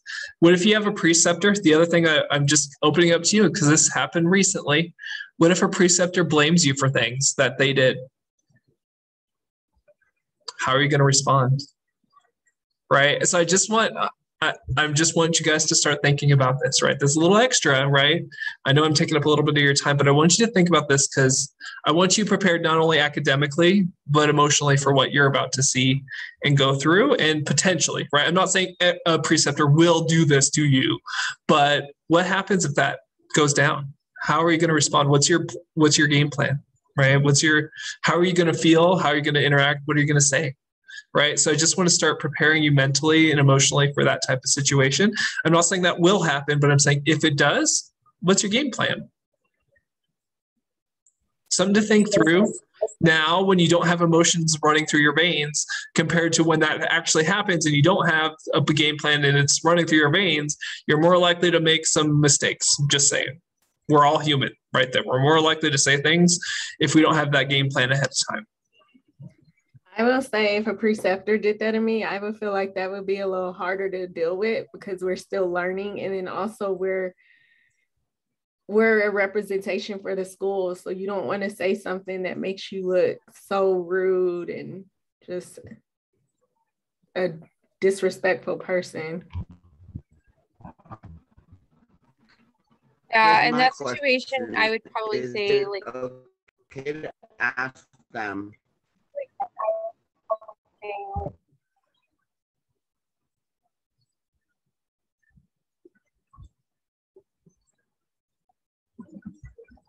Never mind. It's a, we want to hear what you have to say. Oh, the internet. Okay. like I would probably maybe say, hey, can we have, you know, a private conversation later and, you know, talk to them, see if something's going on with them, or, you know, that that's what they're doing. But, you know, kind of like Terry said, you know, kind of explain to him, hey, like, you know, this is affecting me. We kind of need to get back on the same page for things. You know, I'm still learning. Sometimes when it comes to stuff like that, because there's even doctors sometimes who are wrong. Um, you just gotta kind of bite it sometimes. Sometimes you just take it and you're like, oh, well, can you show me the right way to do it? Like sometimes you just gotta make them feel like they're right because the argument's not worth it. There's been a couple doctors who were wrong, but I'm not gonna argue. So I'm just like, oh well, like what's the right way? And then they're not even as defensive anymore because they're like, oh, they want help. I'll show you, and then they're trying to let it go. But that's a really hard, really hard one to not get rude with. Yeah, that's why I'm like, come up with a game plan now. Right? When you don't have those emotions going through you, practice it just like practicing coaching a PFT. Right? Come up with the game plan now. Yeah, so that's happened, right? That happened recently.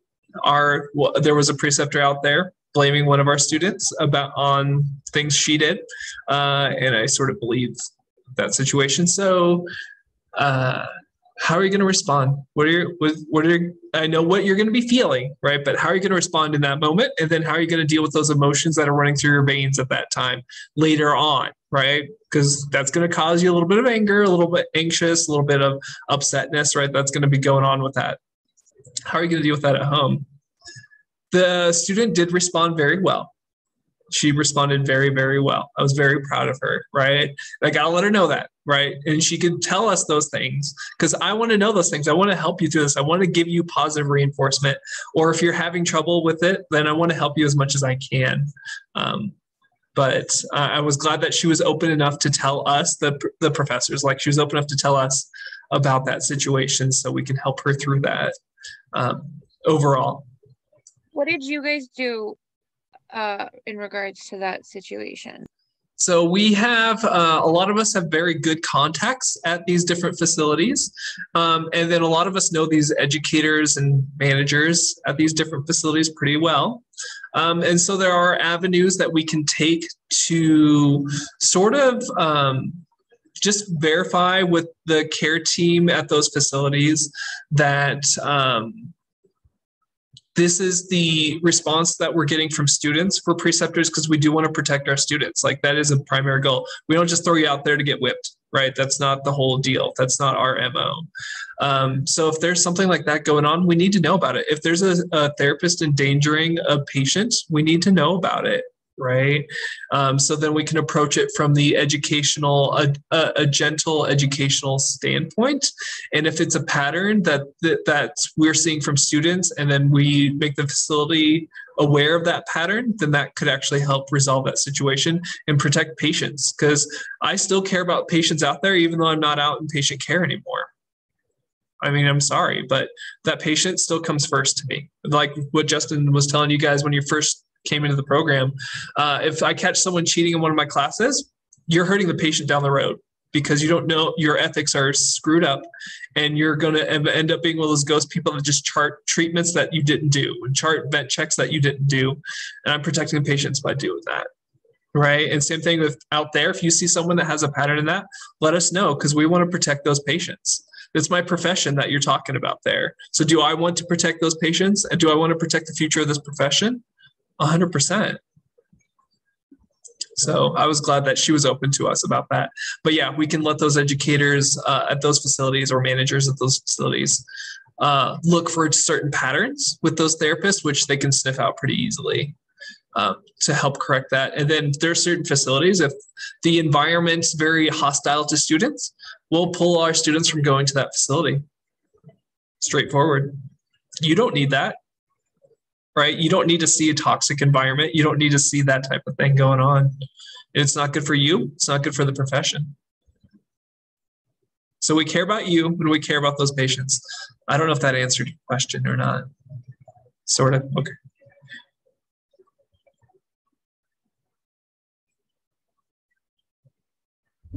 All right, real quick, I do want to make sure we do the escape room today to make sure to practice for Thursday.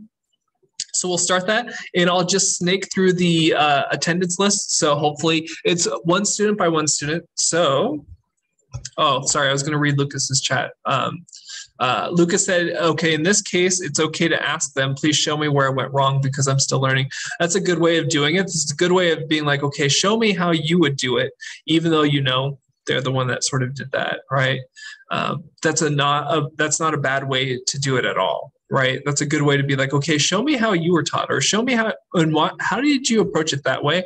I remember having a, a patient uh, they were doing a bedside uh, inhale corticosteroid so uh, a Flovent inhaler and usually for mdis you're supposed to use a spacer right? Whenever you do an inhaler you're supposed to use a spacer to do it so the the art the RTs before me kept making this patient use the spacer because that was our policy. If you're using a, a, a, MDI, you're using a spacer. And so he's like, no, the doctor ordered me not to use that. And so I was the first one to ask him, and I was surprised by this. Why did the doctor order you not to use the spacer? He's like, because I get those things in the back of my throat where it's inflamed and swollen. And that's what he wants me to put the medicine on is the back of my throat with the inhaler, the inhaled corticosteroid. So does it make sense for him to use a spacer? No, it actually makes sense to order him not to use it. So I was like, well, then let's do it the way the doctor ordered it. Does that make sense? Like little things like that, where you're just asking questions. Like if a doctor says, okay, I want to do, instead of a tidal volume of six mLs per kilo, I want to put them on 15 mLs per kilo. You're going to be like, that's more than double what it should be. That's dangerous. And then you realize, why is he doing that? So, what are your thoughts behind that? Right. So, this is a, a good statement. What are your thoughts behind that? I'll repeat that again. What are your thoughts behind that? You know, so uh, it looks like I'm wanting to learn, and I did. And he's like, this is a spinal cord injury patient, right? Their lung compliance is going to be amazing. Their chest wall compliance gonna be amazing. And we need those higher tidal volumes because they're more prone to infections if they don't have larger tidal volumes, more of a Craig spinal cord injury type patient. So I was like, oh, I just learned something, right? That I never knew. Now I'm a better provider for knowing it. So when I see a spinal cord injury patient walk in, am I better equipped to take care of them now? Absolutely, because I took that growth base. I'm like, hey, what are your thoughts behind that mindset versus like, hey, I learned six mLs per kilo and that's all I'm ever going to do. Right type mindset. Does that make sense? Right. What are your thoughts behind that? Right. Not a bad way to go. All right. So we're going to go. If you go into your, go ahead. Okay. Yeah, that's fine. So uh, I'll try to go through the list. If you're not, if you don't respond, that's okay. Uh, but this is just sort of a fun exercise to see if you guys got um, got the content down for Thursday. Um, but if you need to leave, I understand. But I want to make sure you got the content down. But hopefully, uh, you enjoy a little bit of fun here with the information. So you go to your go ahead. Uh, is this kind of a overview of what's on the exam? Not overview, but like yeah. Okay. Never mind. I can't officially answer that. Okay. I hope you understand what I'm saying by saying that. Yeah. Sorry. All right. like I can officially answer that. So here's the thing. I'll just go through person to person. I think we'll start with Ashley, and then uh, we'll go through. And then if you can answer it, great. Uh, if you don't or get the question wrong, we'll move to a penalty slide, which is just another question from somewhere uh, somewhere else in the respiratory field. So nothing big there. No worries. The whole thing is like do you know it or not? That's okay. If you want to ask for help with one of the other students that's okay too. Um, that's perfectly fine. So if you're like hey uh, kara i need some help with this question. What are your thoughts on it? That's okay. I'm i'm okay with that. All right. So the respiratory pft escape room right? Uh, so you just need to correctly answer the question. If you get one wrong, then you'll get a subsequent some would say difficult, but it's uh, out of one of the other RT things that we've talked about. You'll have about 10 seconds to answer the question. So pretty straightforward. All right, first question. Ashley, are you ready? You there? Unmute. You might want to unmute for this whole thing. Let's see. Ashley, are you there? No. All right, Natalie, are you there? Feels a little weird. Yep. Okay. All right. You get the first one. All right. Interpret Natalie, this. So it's okay.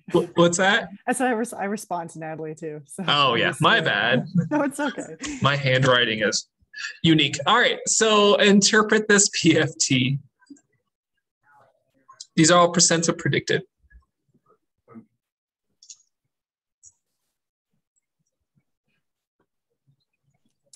So the SVC looks normal. Um, the FVC looks a little bit low. Um, and the FEV 1% uh, is also low. Um, so with FE's, FEV 1% being low, that could be indicative of a flow rate issue. Um, but the FVC is also low. So would this be like a combined? Okay, but the SVC is normal. Never mind. So yeah, it's um, or obstructive because of the low There you go. rate. Perfect. Obstructive pathology. Was that super bad? No, I just had Okay. to remember that the SVC was normal. Yeah. Those tricky air trappers, they'll get you. All right, Jason, you ready? Yep. All right, name three contraindications for performing a PFT. Uh, pneumothorax, hemoptysis, and uh, recent or dementia. Dementia, that's that's good. Or re- I was going to say recent uh, eye exam or surgery, retinal surgery. Well, eye surgery or cataract Dilation. removal. Yeah. Cataract removal. Okay. Yeah. but eye surgery would count too. Um, all right, Danielle, you ready? You there? Sorry, yeah. Okay. All right, name the four lung volumes.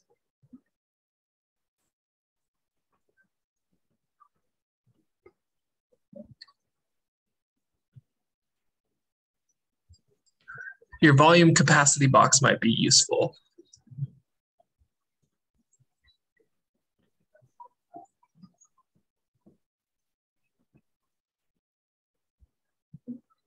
You can always ask for help if you need it. You don't have to. Okay, I'm gonna ask for it then. I can't find it. All right, pick your person.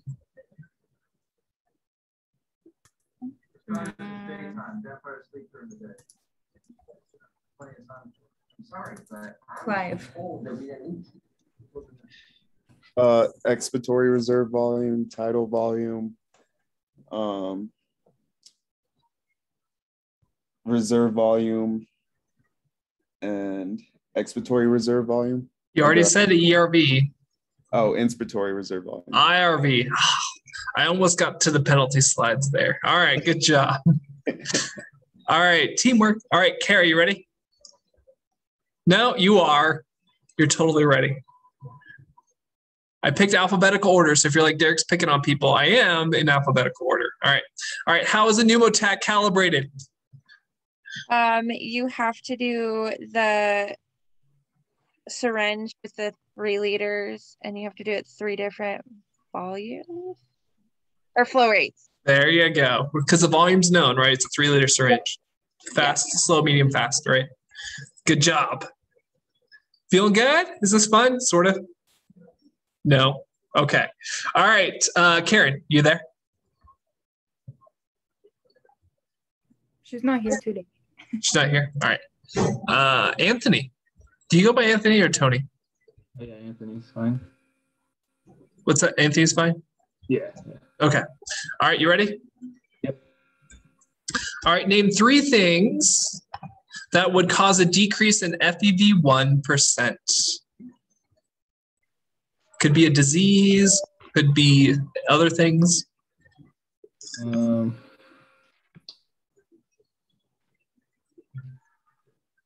is it emphysema is one? Um,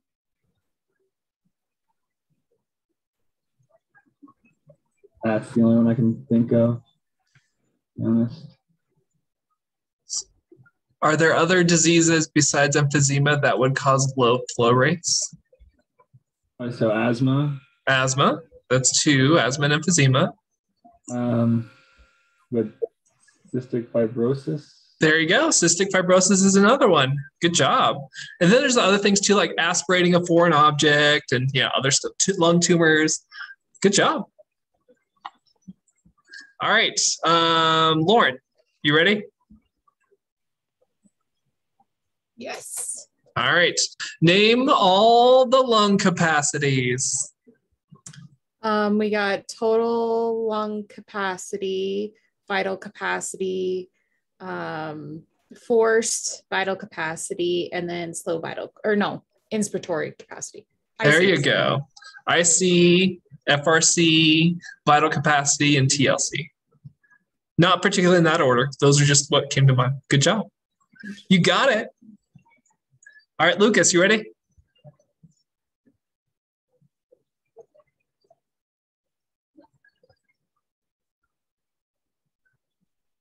He says yes. Okay. All right. What is the normal value for the DLCO?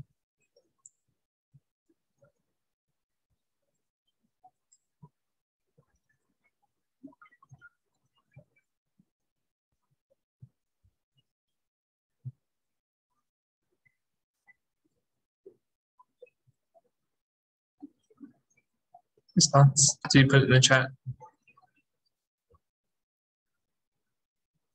Um, are you sure about that answer? Is what I'm going to ask you.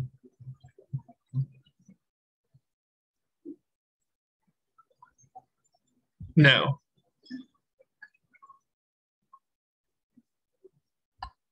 Did you want to ask a friend? You ask Kara for help. 25 milliliters. Is what did what did you say? The 25 milliliters of CO per minute per um, millimeters of mercury. Correct. That's a board exam question. So that's something, just be very confident with that one, that one, or comfortable with that one. Good job. All right, Johnny, you there?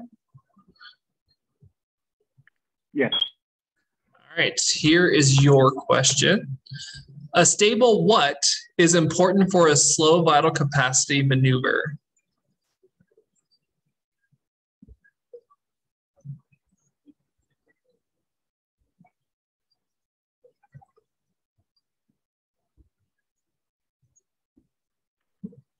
I'm going to have to ask Miranda for help. Miranda? Yes. Tidal volume? There you go. A stable tidal volume is important for the slow vital capacity. Good job. You guys haven't had to use any penalty slides yet. I'm feeling self-conscious. All right. Um, where? Uh, Johnny, Clive is the next one. Are you ready, Clive? Yep. All right. Which specific PFT value would best evaluate for obstructive lung disease? Hint. It's taken from the forced vital maneuver.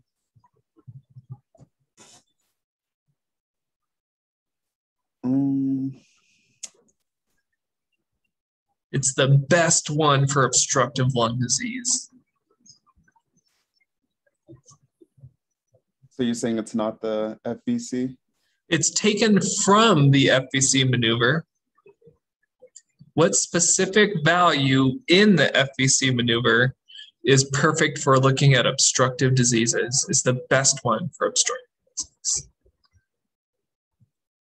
It's the FE, the one percent. Yeah, the FEV 1%. Good job. All right, Miranda, you ready for your question? Yep. All right. What is a PD20 and what PFT procedure does it come from? This one's not easy.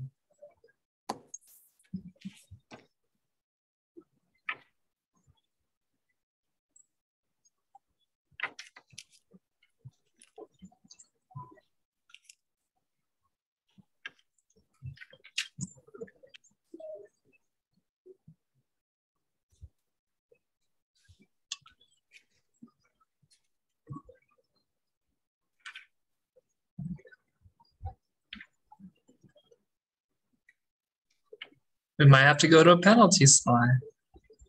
I'm gonna ask for help. Okay, who you gonna ask? uh, Natalia.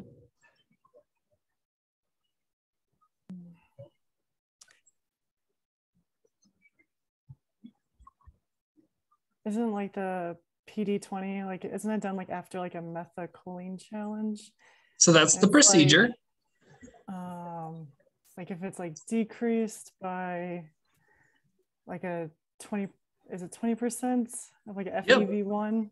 Yeah, if their FEV one by drops by 20%. So it's the dose, provocative dose is what it stands for. So that's the dose or the concentration it takes to drop their FEV1 by 20%. So the lower the concentration or the lower the dose, the more sensitive their airways are. Good job. I thought I was going to get a penalty slide out of that one. Darn what it. Was the, what was the dose of again? The methacholine is the most commonly used one. There are other ways to do it. Methacholine is just the most common um, way to do the methacholine, the the bronchoprovocation. All right, so that was Miranda. Ryan, you there?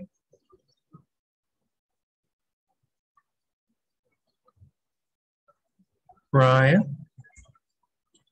No? Claire?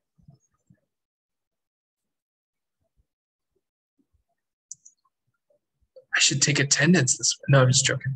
Uh, Claire, are you there? No? All right, that means L's next. Oh, Claire said her mic isn't working. Oh, okay. Does she want to use the chat? We can do the chat. Do I use the chat, Claire? Okay, sure. All right. So let's do that. All right, Claire, this is your question. How do you evaluate for effort with the MVV test? How do we know they gave us a good effort?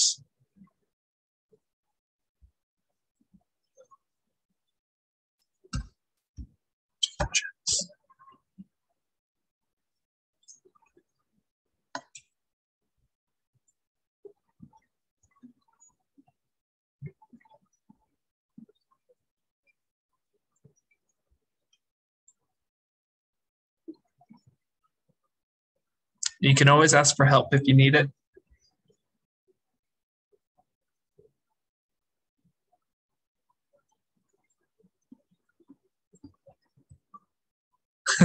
Kara? Uh, would that be the same as the test acceptability? So like the two tests have to be within ten percent of each other? so that would be reproducibility, but how do you find efforts?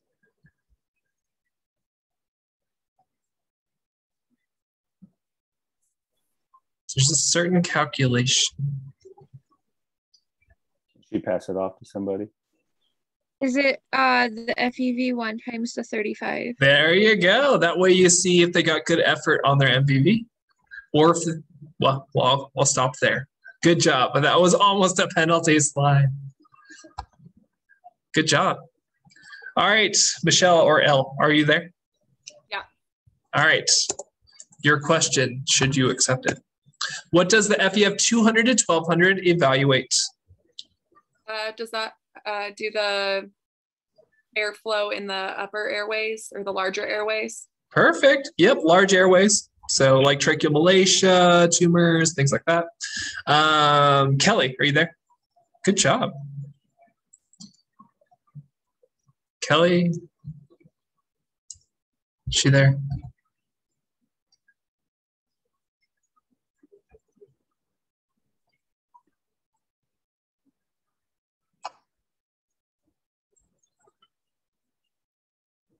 No? Yes. He's in the chat. Okay. All right. Uh, all right. So, question. You ready?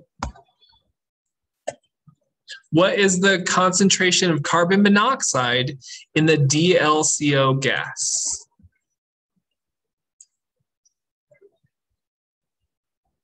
It's a board question.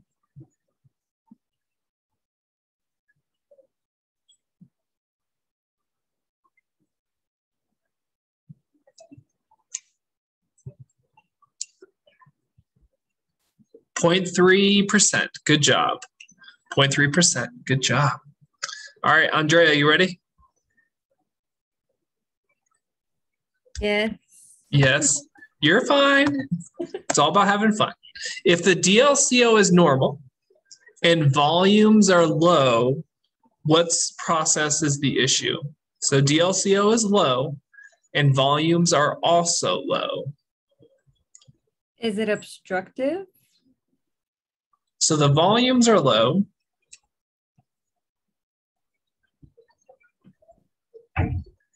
Restrictive.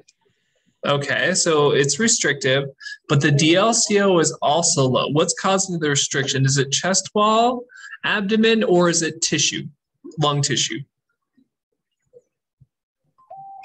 Mm, You can ask for help too if you want. Okay. Um, I'll ask Kara. What about chest wall and neuromuscular disorders? If the DLCO is low, or if the DLCO is normal, sorry. If the DLCO is normal and the volume's low, you're saying it's neuromuscular chest wall?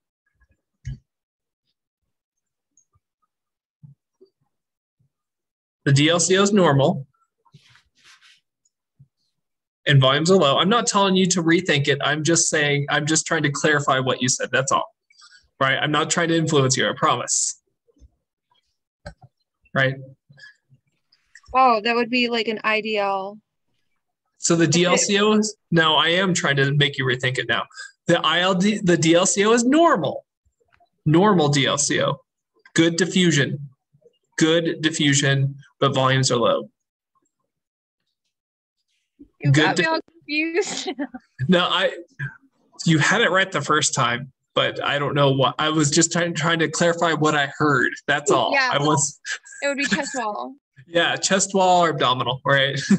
you had it right. I just I could, didn't hear it right, right? I have man syndrome. It happens. Okay. Good job.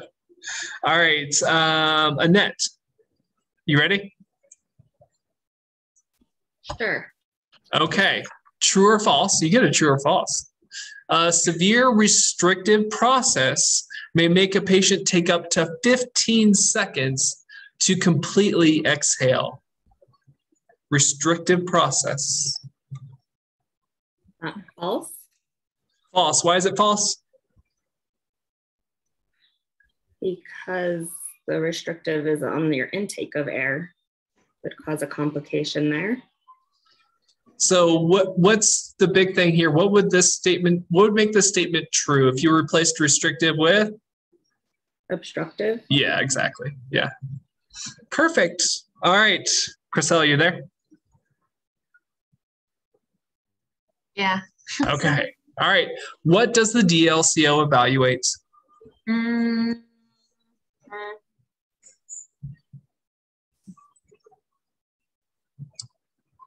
It evaluates the diffusing capacity of the lung tissue.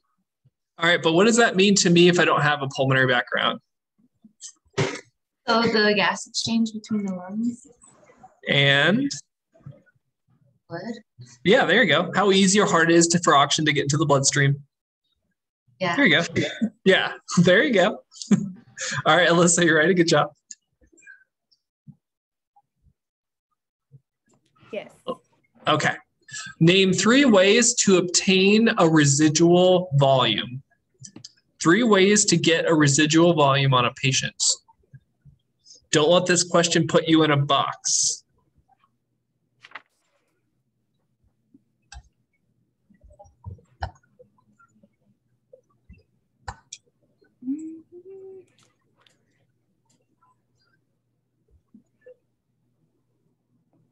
Is that like the equipment?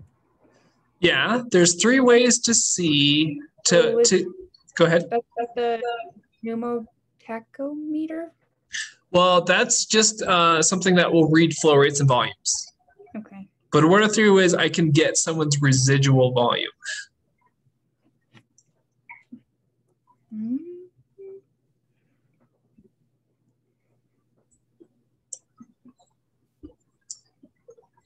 This question can wash out some things, can dilute some things, can box some things.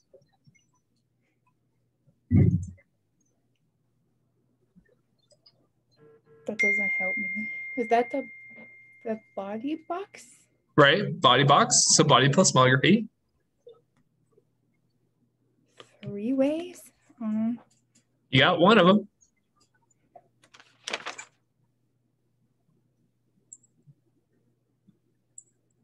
Gosh, I don't know the other two. You can always ask for help if you need it. I don't know who to ask though. Everyone's like already been asked. um, I'll ask Miranda again. So it's uh, also so it's the body box, the nitrogen washout, and the helium dilution. Perfect. Nitrogen washout, or use 100% oxygen. Uh, so, body box, nitrogen washout, and helium dilution are your three ways to obtain residual volume. Sounds like an important question, Derrick. It does. Can you go over that again? So there's only three ways to actually get a residual volume because it's the volume you can't exhale. So if I have you do a forced vital capacity, it's not going to tell me your residual volume because that's what's in the lungs and you can't exhale it, right? So there's three ways to actually measure it. That would be doing a body box where we close the door and use Boyle's law, right? nitrogen washout where I give you 100% oxygen. I see how long it takes for you to empty your lungs. That tells us how much residual volume you have. And then the third way is helium dilution, where we're going to use closed circuit helium and you're going to breathe it until the helium equilibrates and it's going to tell us how much total lung capacity or volume you have.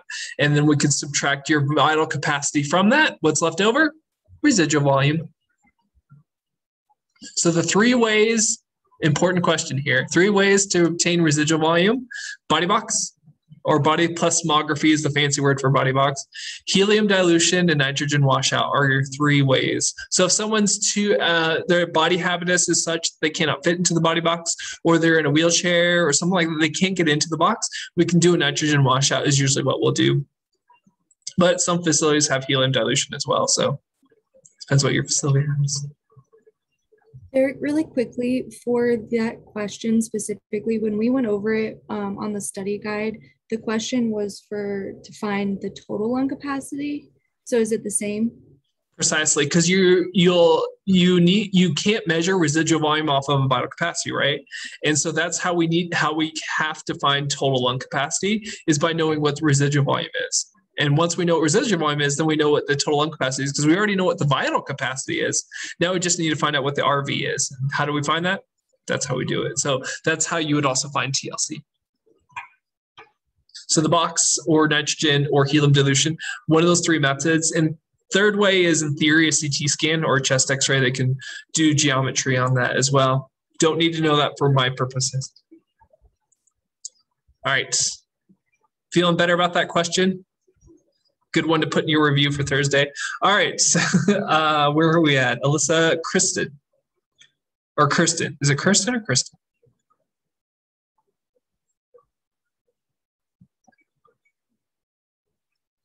She here? No? Terry? I seen her earlier. Terry, you there? Yeah, I'm here. All right, you ready? No. No, you'll be fine. All right. Which gas law does the body box exemplify? Uh, Boyle. Boyle, see, you got it. See? That's just perfect. All right, now we cycle. Good job. Uh, now we're going to cycle back up to uh, Natalia. You ready? Yep. All right. How long do we wait in between the DLCO measurements? Um, it's, isn't it four minutes? Four minutes is correct. Good job. All right, Jason, you ready? Yep. All right. Increased FRC and low flow rates can indicate what type of disorder? Increased FRC and low flow rates.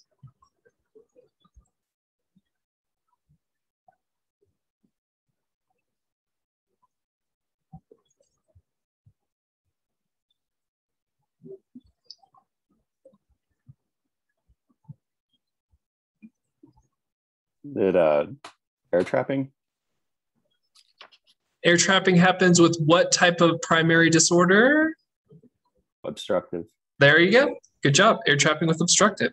All right. Danielle, good job. You ready? Wasn't your fault. Yeah. Okay. True or false? You can obtain a total lung capacity by just a forced vital capacity maneuver.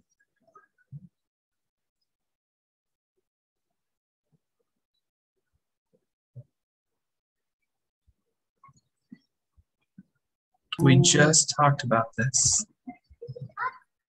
True. So you're saying true? Your work. No, false.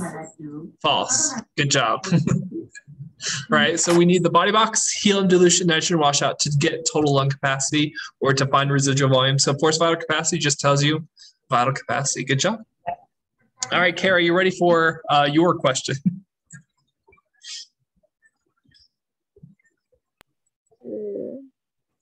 All right. Oh, you get to interpret this PFT. All right.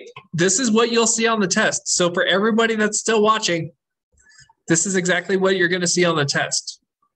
Like this is how it's going to be. You're going to see all these numbers. You're going to see the observed column, what their predicted was, and then their percent of predicted.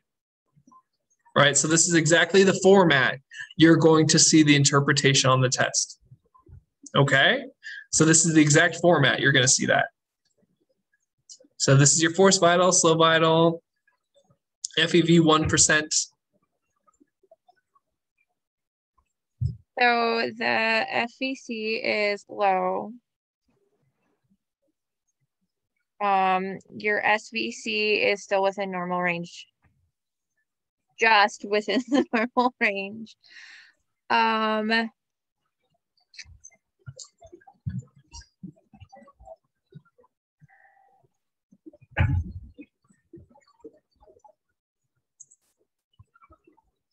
So the twenty-eight percent, that would be um low. Which would lead to obstructive, um, because the SVC is within normal, that would um cancel out that it's a combined, so it would just be an obstructive. Correct. Good job. Did you need to look at every one of those values to figure that out? No. Right. This is how the reports look. Like you guys seen the reports from me the other day, right? You're going to see all these values. They're only focus on the ones you need to focus on, right? Good job. All right, Anthony, you ready? Still there.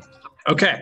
What does it mean if the force vital capacity is larger than the slow vital capacity?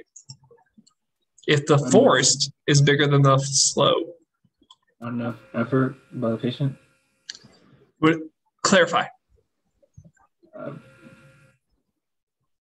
they didn't. Uh, I don't know. There's not enough effort on the SVC. Yeah, so they need to redo the slow vital capacity effort. Perfect. Good job. That's actually from the RPFT board exam. That's a direct question. Good job. All right, Lauren, you ready? I'm ready. All right. A patient in pain after abdominal chest wall surgery may have a low what capacity?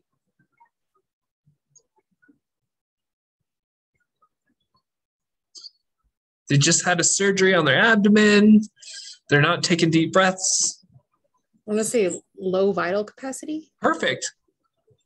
There you go. When we do uh, the I, the IS, the incentive spirometer, right? That's what we're looking at is their sort of vital capacity. Have them exhale all the way and then slow deep breath all the way in. Help improve their vital capacity. Good job. All right, Lucas. You ready? You're in the chat. All right. True or false? Peak flow results would only be low in asthma. Only low with asthma. No other condition, just asthma. False, right? There's other conditions like chronic bronchitis, cystic fibrosis, uh, emphysema, right? All those will have a low peak flow. Good job. Oh, yes, it is also low in asthma. Good job. All right, uh, Johnny, you ready? Yeah. Starting to pick up steam. All right. Interpret this PFT.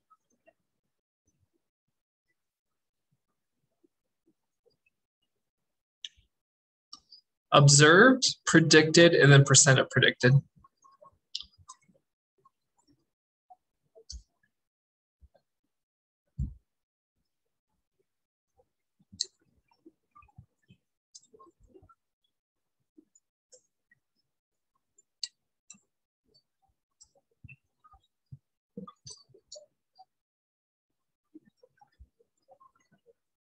You can always ask for help if you need it. Go ahead.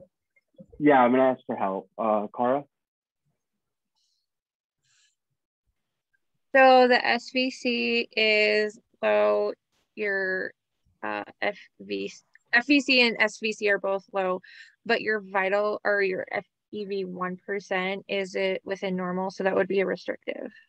Yep, this is a restrictive pathology. Good job. All right, Clive, you ready? Yeah. Right. So don't let this throw you off on the exam, right? This is the format I'm going to use for those. So just don't let that throw you off. All right, Clive, you ready? Mm-hmm. So if the DLCO is low and there is obstructive flow rates, then what kind of process is present? Remember, the DLCO is low and there's obstructive flow rates. Mm.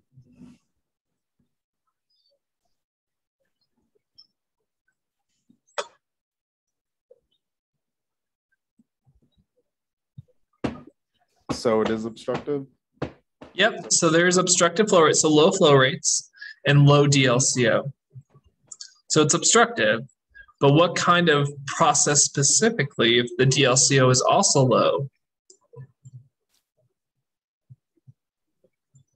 Like what disease? Yeah. Uh, COPD. There you go. I'll take it because emphysema, COPD are used synonymously a lot. So yeah, uh, emphysema slash COPD. Perfect. That one wasn't easy. Good job. All right, Miranda, you ready? Yep. All right. Name all the volumes that make up vital capacity.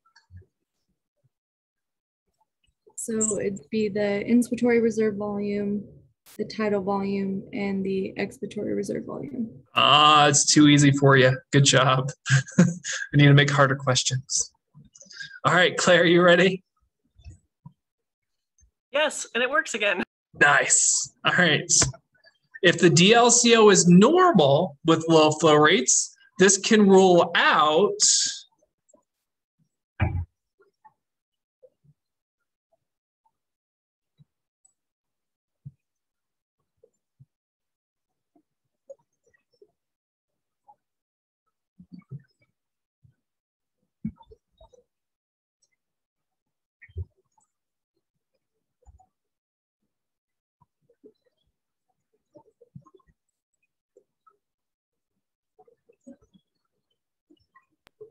I don't know. Pass. Um, try to Miranda this time. Miranda.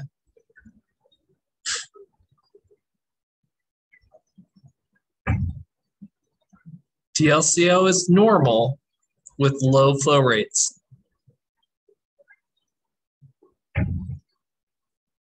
If you like that flow chart that I talked about that one day from Respiratory Care Journal, that could be helpful here. But what disease does that rule out with normal DLCO and low flow rates? It rules out. Interstitial lung disease. So the flow rates are low, not volumes.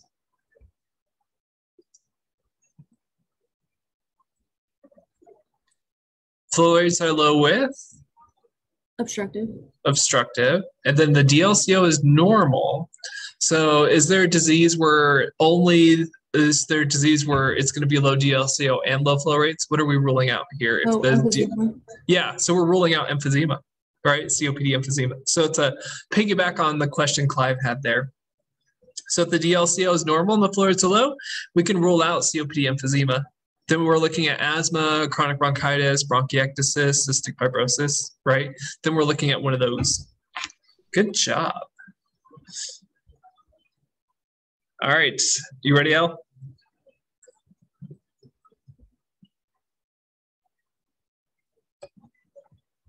You ready? She there? she in the chat? All right, I'll let you guys go soon. Just a couple more. Are you there? No. Kelly?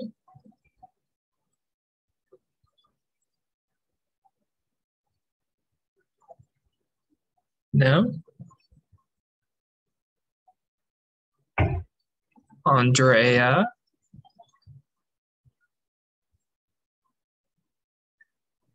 I'm here. Okay. All right, Andrea, this is yours. Describe the DLCO breathing technique. Okay. Um, I'm gonna try not to look at my notes. So is this the one where you have to make a tight seal around the mouthpiece and breathe hard and fast as fast as you can for 12 seconds? Not quite. Uh, Mm-hmm. Okay.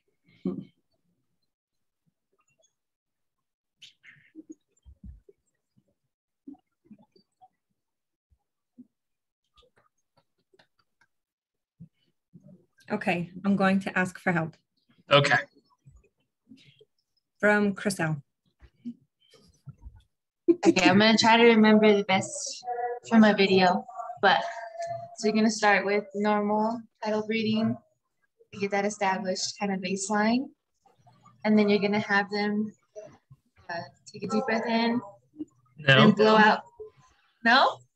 Well, they're gonna breathe in, but then they're gonna blow out as far as they can. Yeah, they exhale completely and then Hold it for 12 seconds. They're inhaling. yeah, that's when you give them the gases when they're all the way exhaled, and then you give them the gases they inhale in. Oh, okay, okay. That's Yeah. what I got backwards on my video too. Was the Yeah. inhale and the exhale. Yeah, so they you have them tidal volume breathe, four three to four breaths, and then exhale all the way, and then you give them the gas, right? And then inhale, deep breath, hold it for about 10 seconds or eight to 11, according to the board exam, and then exhale. So in the um, with the actual equipment, is the like the is the gas um connected to the mouthpiece? Yeah, so you'll So- hook it in line with the box because usually there the box is there. You don't have to close the box for the test, but yeah, you'll do this little circuit that connects the the mixed gas that has the carbon monoxide in it to the mouthpiece, but otherwise it's not in line with the patient for the other test. Is that what you're asking?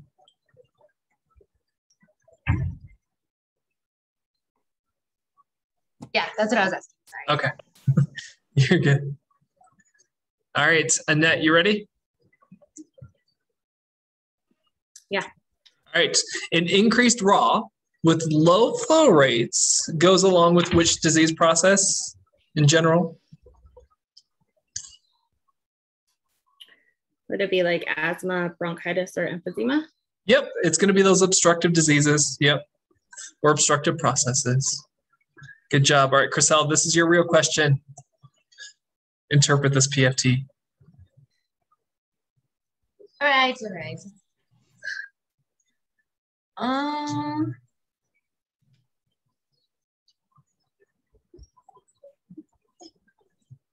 So predicted's on the far right, percent of predicted, and then FEV one percent is down here.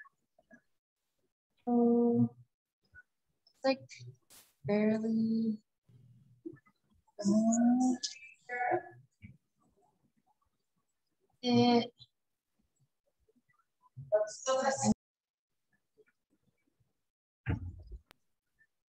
Hmm. Now, let me see. Let me see. So the FB, FEV one is a, oh, we're starting at the top. FEC, the force capacity is low. Hold up.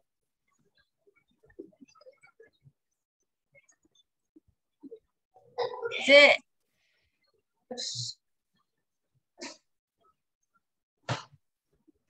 Obstructive? So the FEV one is seventy-five percent. Is the normal 80 to 85? For FEV one percent, No? All right, Kara, you keep shaking your head at me. So I'm gonna bring Kara into this because I want her to help me, but I also want to figure out myself. Well, the seventy-five percent is still within the normal value. So it's 75 to 85? Yes. Okay. And then the FVC is lower, right? Yes. So then it would be restricted, right? Because there's still the diffusion that's there you go.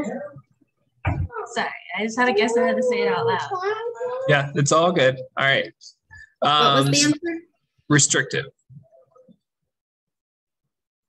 All right, not easy, but you guys are getting there. You're getting to the point where I can give you the, everything here, and you can just focus in on the main things, right?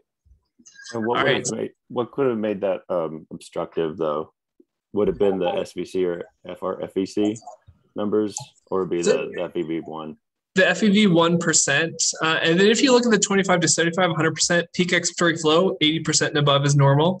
So those were good. So the big issue here is that this was at 74%, then that would technically be a combined condition. So the FEV one is looking at the diffusion. Uh, not diffusion, but the flow rate. That's the primary flow rate. The DLCO is diffusion, and that's not on here. Okay. Yes, the reason why it's not combined is that this is at 75%, which is within normal limits. So we have low volumes, normal flow rates. So by definition, this is just restrictive. So this would be our Mick Jagger case without having emphysema, right? Lung cancer emphysema. All right, two or three more. So we'll do Alyssa, Kristen, and Terry, and then we'll call it good. And if you want to stay and do more of this, we can. All right, so Alyssa, you ready? Yes. All right, explain the steps on how to do best test results. Okay, so first you do the highest forced, Step one, highest force vital capacity. um, and then the highest FEV one percent. Or yeah, right? Or just one, not the percent. Okay, highest FEV one value. Yes, not the percent. Um, and then you divide both of those together, right? You divide the best test of the FEV or FVC and the FEV one. Okay, so that gives me my new FEV 1% for the best test. Yes. And then um, this then you add them. This find the sum from each trial. So you add FEV1 and FVC from trial one, trial two, trial three, right? From those trials. and then whichever one has the highest sum is the best test in the, the other ones. It's hard to Okay. explain without the like showing you. So what do I bring over from the one that has the highest sum in uh, FEV1 FVC? Whichever has the highest uh, trial. Right. So what do I bring over? What what do I do? What do I transfer over to the best test side? All the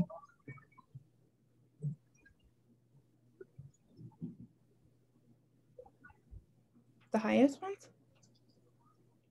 Or I don't know what you're asking.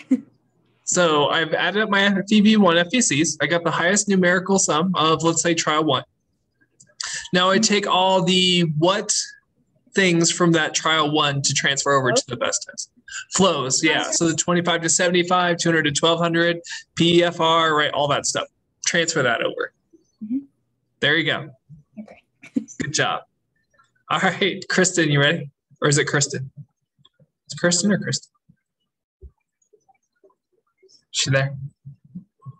She in the chat? It's Kirsten, and I don't know that she came back. Oh, Kirsten.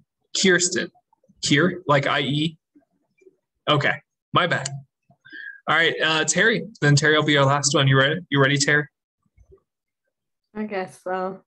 You- You were fine with the last one. Don't be nervous. All right. What does broncho provocation evaluate? We already talked about it. What does it evaluate? What does it look at?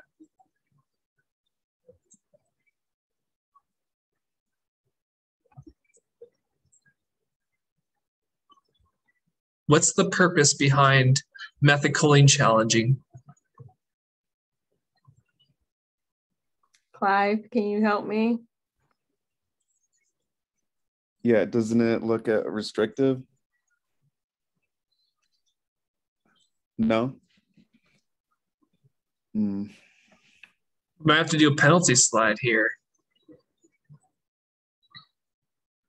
Oh, doesn't it look how you can how reversible the bronchospasm is?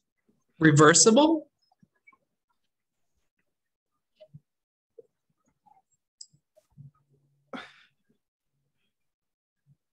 Or how reactive your lungs are?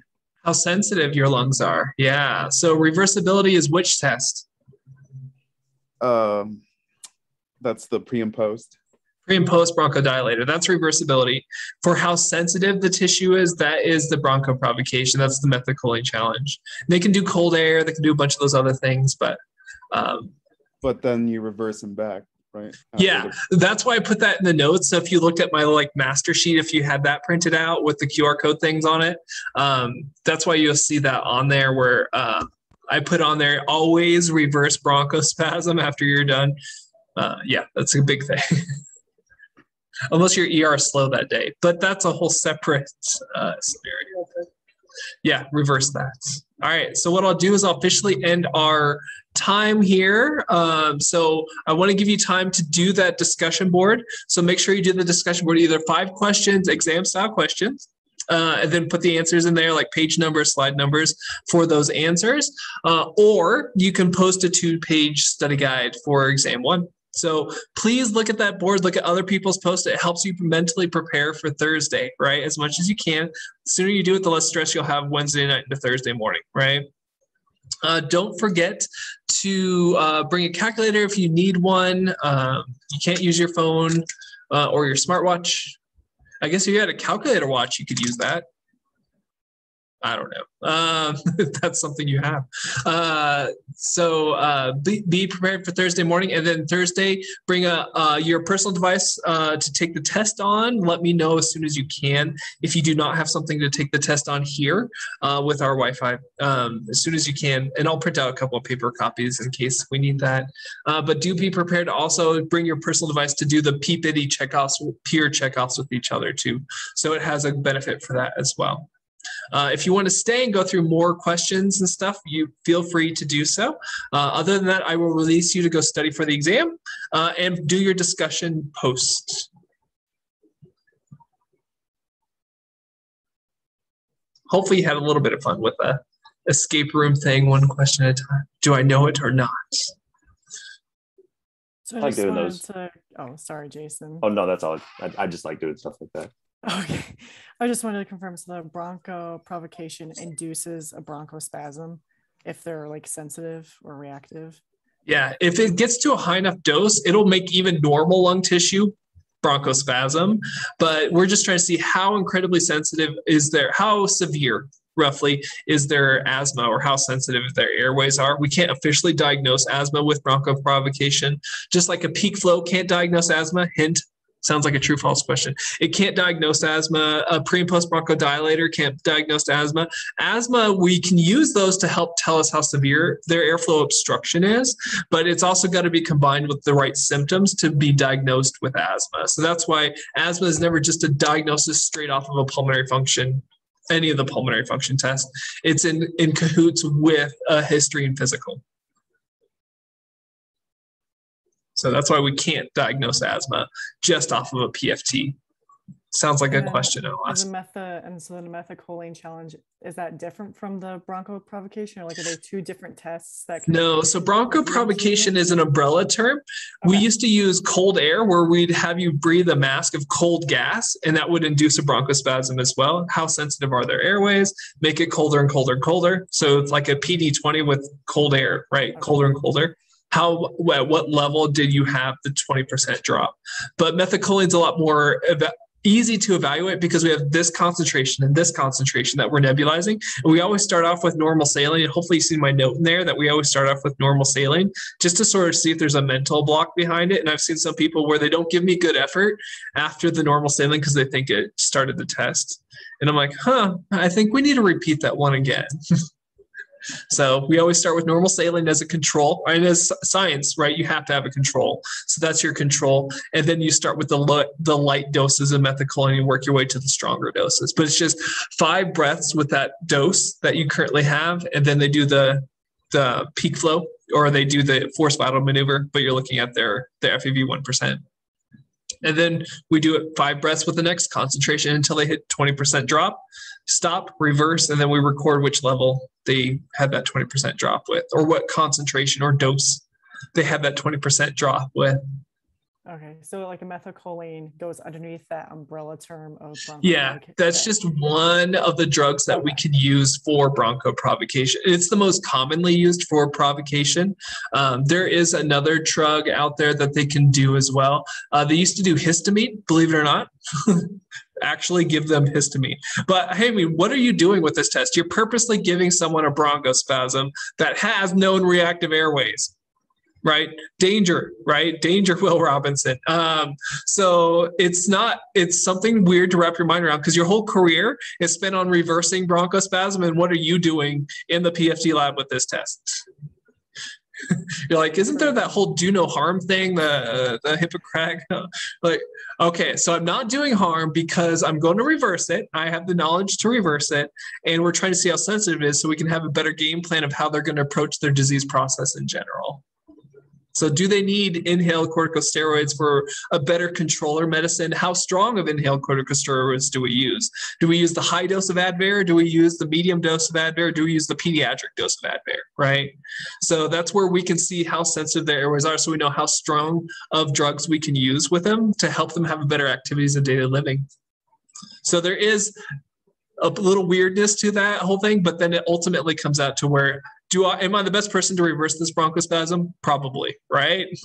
Respiratory therapy, you're probably the best person to reverse that spasm. And then you can also see how sensitive their airways are, so you have a better game plan for better long-term living. So what, I guess what point would they have to get to before you'd be like, okay, we're stopping the test because you're super reactive, or you know, like how far do you take it? Like, what's the cutoff point?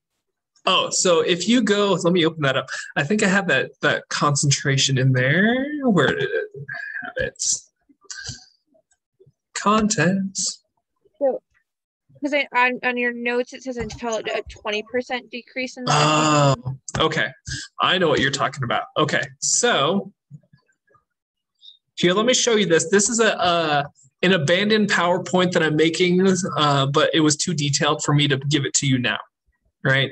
So I'll have to figure out how to make it more simple. So just keep that in mind. But I was going to give you more information on um, the uh, methacholine procedure. So here is the procedure example that we did in our PFT lab. So this is the procedure that we did.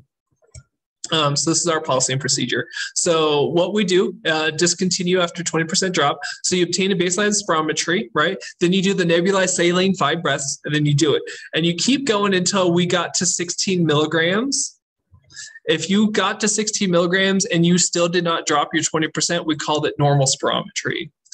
So you weren't considered hyperreactive. If you go to the 20 to 25 milligrams per ml, that's usually where even normal lungs will start to have bronchospasm. Is that what you guys were looking at? Like what dose?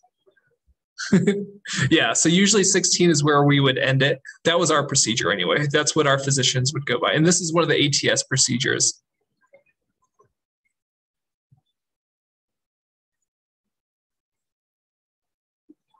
But I had all these like, I had preparations, like they can't have SABAs within the past four to six hours, contraindications, right?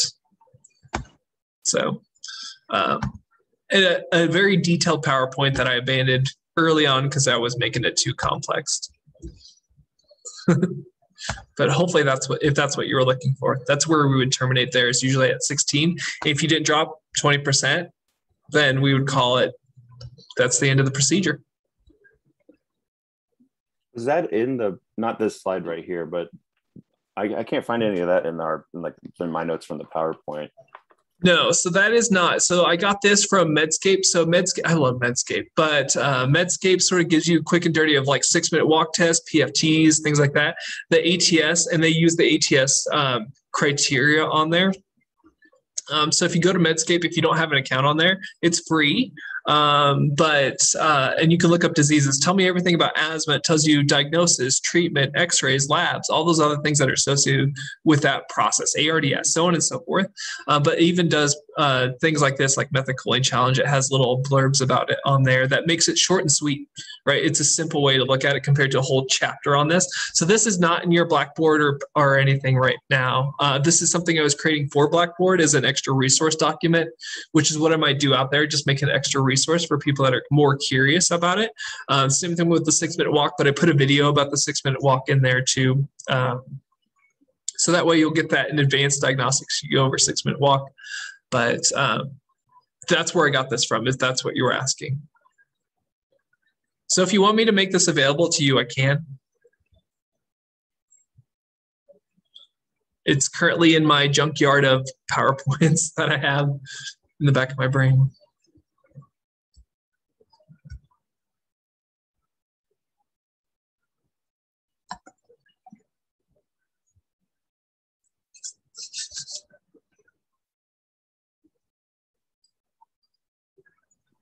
Can we go over the PFT interpretations a little more? I feel like I'm still struggling with that. Perfect. Yeah, I was gonna say the same thing, a couple of those. So I use a little box um thing that Derrick gave us in the beginning, and that kind of really helps me to figure out what it is. Oh, so the um, the score sheet.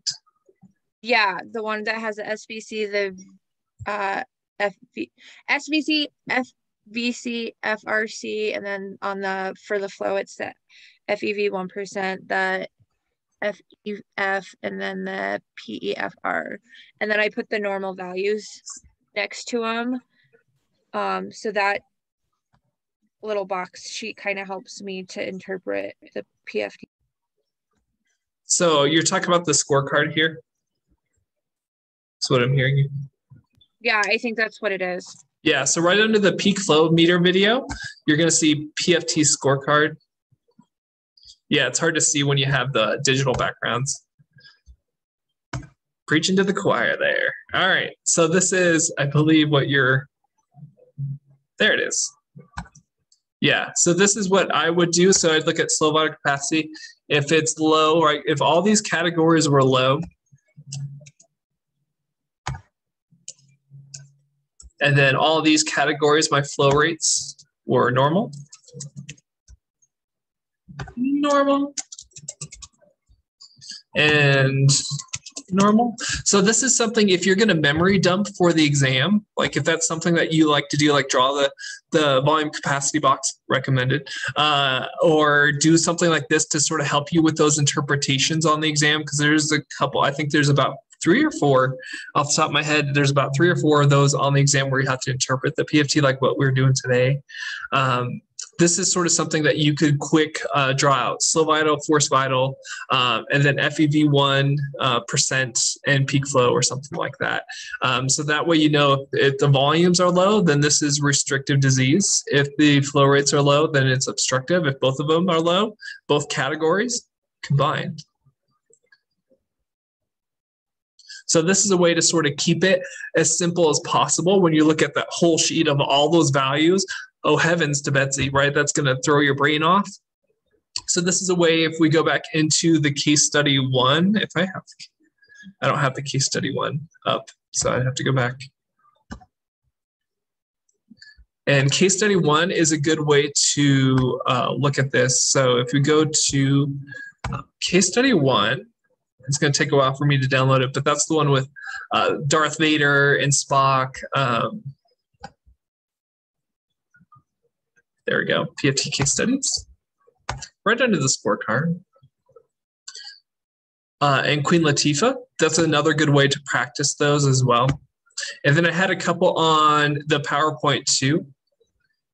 So if you go to his uh, case study PFT, so if we go to Spock's um, PFT, then you can look at his slow vital capacity and force vital capacity.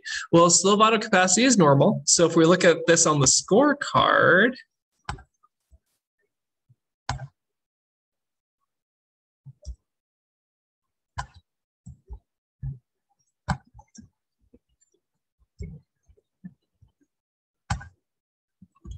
Oh, it's going to be too tiny.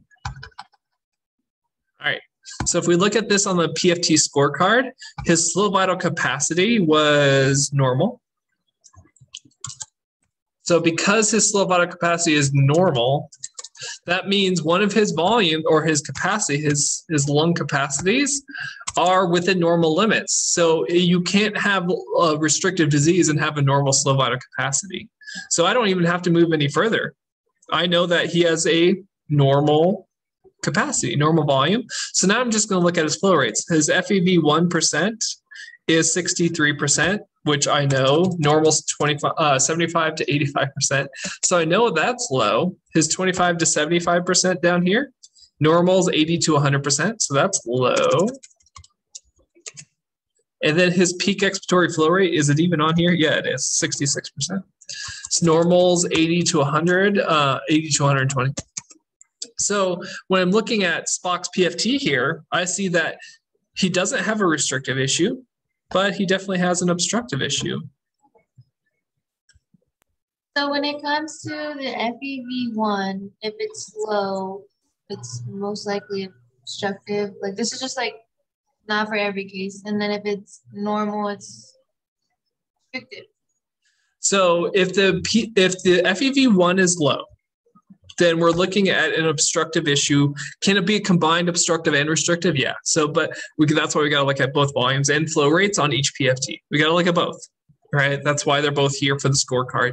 We got to look at both volumes and flow rates. These are the basic ones to look at: slow vital, force vital, and then FEV one percent. If you want to simplify it to just that, then that's fine, right? For now, until you guys get out there, where PFT land gets a little more complex. Um, but when you're looking at this, if it if the FEV one percent is normal, is what you were saying. If the FEV one percent is normal, does it mean it's restrictive? No. Let's what if their volumes are were normal, then they have normal spirometry. But if his his FVC is low, right? The FVC would just be like air trapping. That's why you have to go off the SVC. Yeah, because his force vital capacity was low. So when you see this pattern, that's your classic air trapping pattern.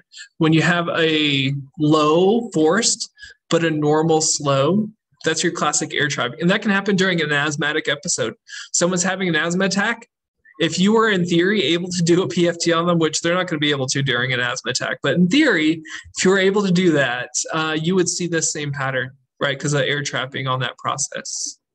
Is it also the same pattern as, as FRC is so high? Yes, because this and on this case, his FRC was 130%. So yeah, that was air trapping because what's FRC is what's stuck in there. Okay, That's, that makes sense now. Yeah, it's what's left over. It can't get exhaled. That FRC stuck in there. So that's why on his case study here, this is a classic emphysema case study, classic COPD case study here. So low flow rates, um, high residual volumes, high residual capacities volumes. But his uh, capacity was normal, if not increased. When you look at his total lung capacity, it was 126% or 132%, sorry, 132% down here, right? That's because stretched out floppy columnar lungs, right? They lost that elasticity and now they're super stretched out. So for the SVC and the FVC, for those predicted value percentages, you want them in between 80 and 100 or 80 and 120? Yeah, so let's do this.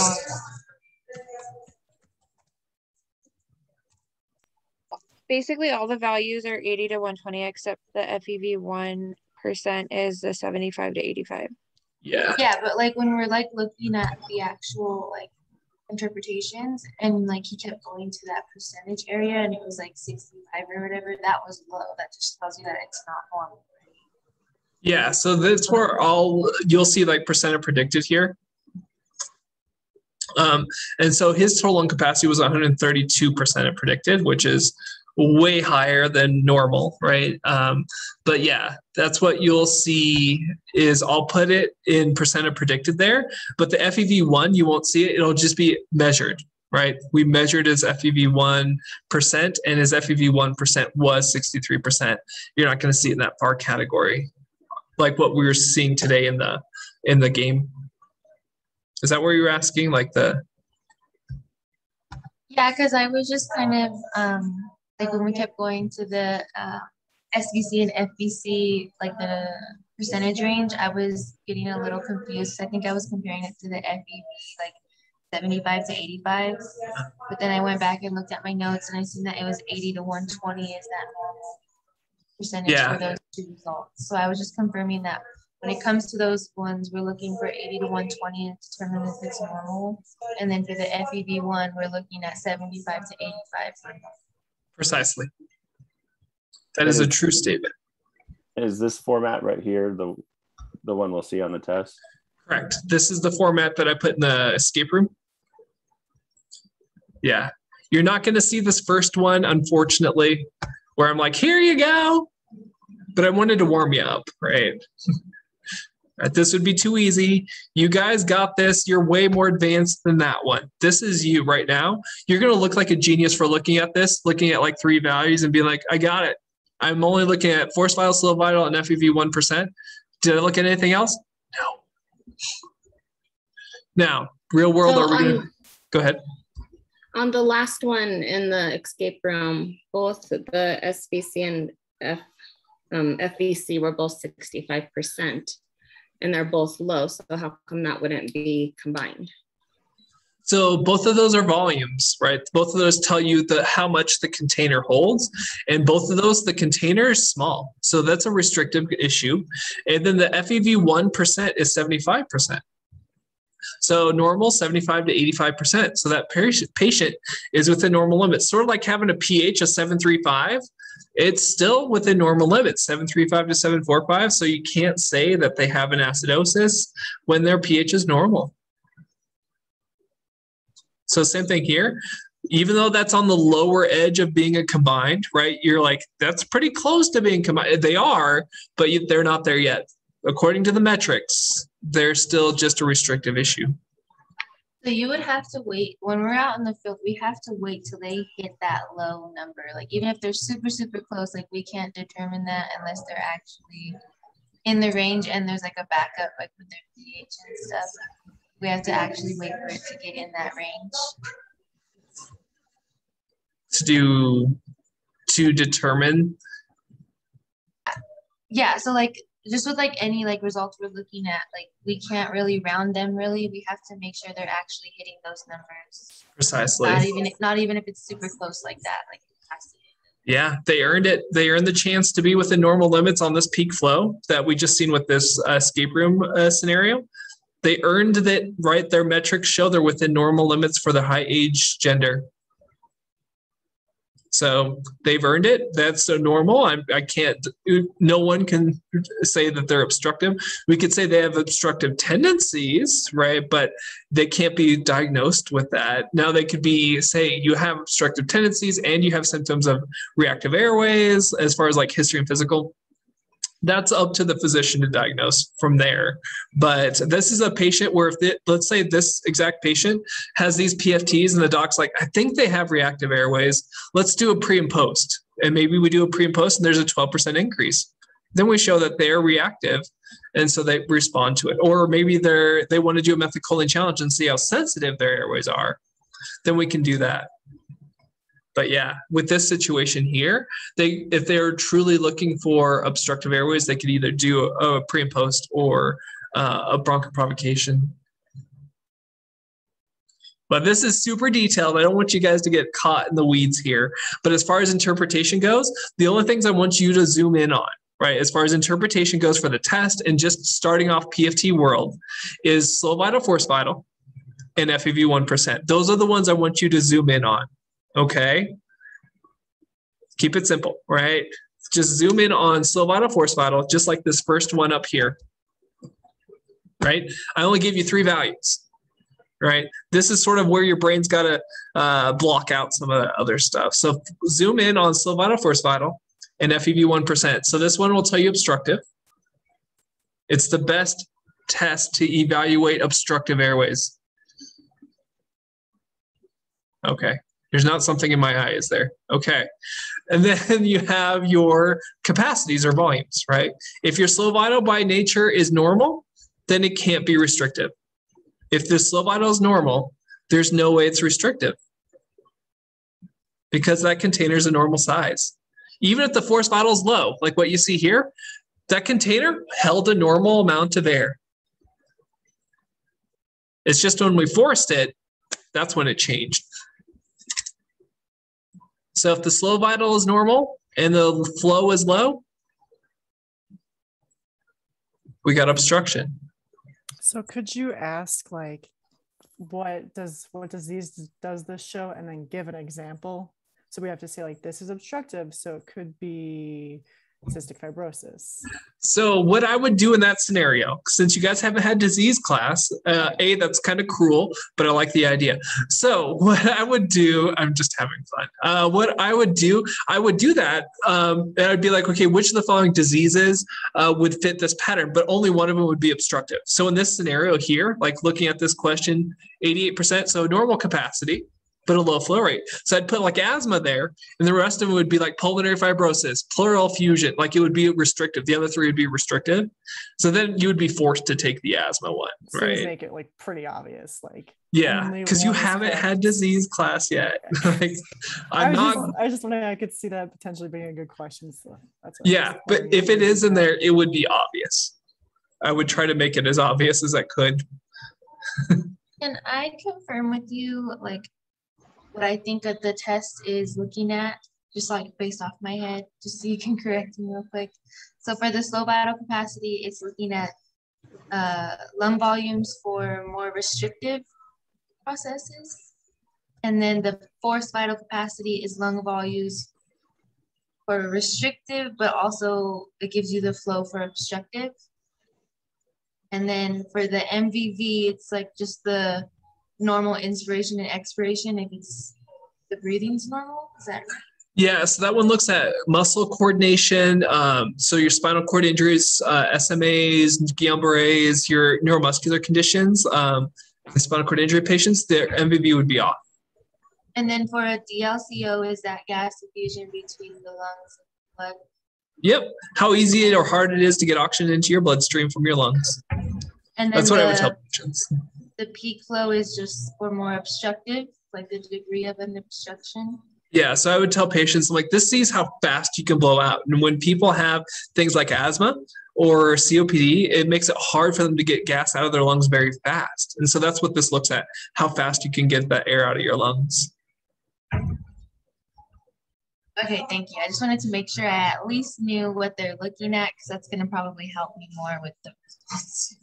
And that's why that assignment for last Thursday was it with the doing the the table. I like doing that because that sort of looks at if you can explain it in a, in a simple way to a patient, like, hey, okay, we're going to do the slow vital capacity. This looks at how deep you can inhale and then all the way exhale without having to blow out. So I'm looking at how much air your lungs can hold. Right. So let's do it. So we do that. This one's going to be the same test, but I'm going to have you breathe out as fast as hard as you can. This looks at how fast you can get that big volume of air out. So how fast you can get that big breath out. Right. And then we go on to the um, DLCO. This one looks a little bit different. We're going to inhale, hold it, and then exhale. This one's going to see how easy it is for oxygen to get into your bloodstream. We'll do this one twice. So that was my thing for the DLCO. Then we're going to go to the MVV. I'm like, so this one's going to be uh, you breathing deep and fast as possible. We're going to only do it a couple times. And I just want to see how much gas you can move over the course of 12 seconds. And so this tells me about how well your lung muscles are, right? And I would use lung muscles uh, for them, like how well your lung muscles are working and how well your brain tells you how fast to breathe and all that stuff. So it'll give us a lot of good overall information. So even though for the MVV you're kind of doing bigger um, inspirations, expirations, it's not so much anything with um, gas flow. It's more of the physical, like lung muscle. Yeah, it's that neuromuscular connection that we're looking at there. And so our GBMs, our glioblastoma, our brain tumor patients, uh, glioblastoma and meningiomas. That was that between that and the DLCO is the only test that are those doctors, the the um, the cancer doctors, uh, would pay attention to.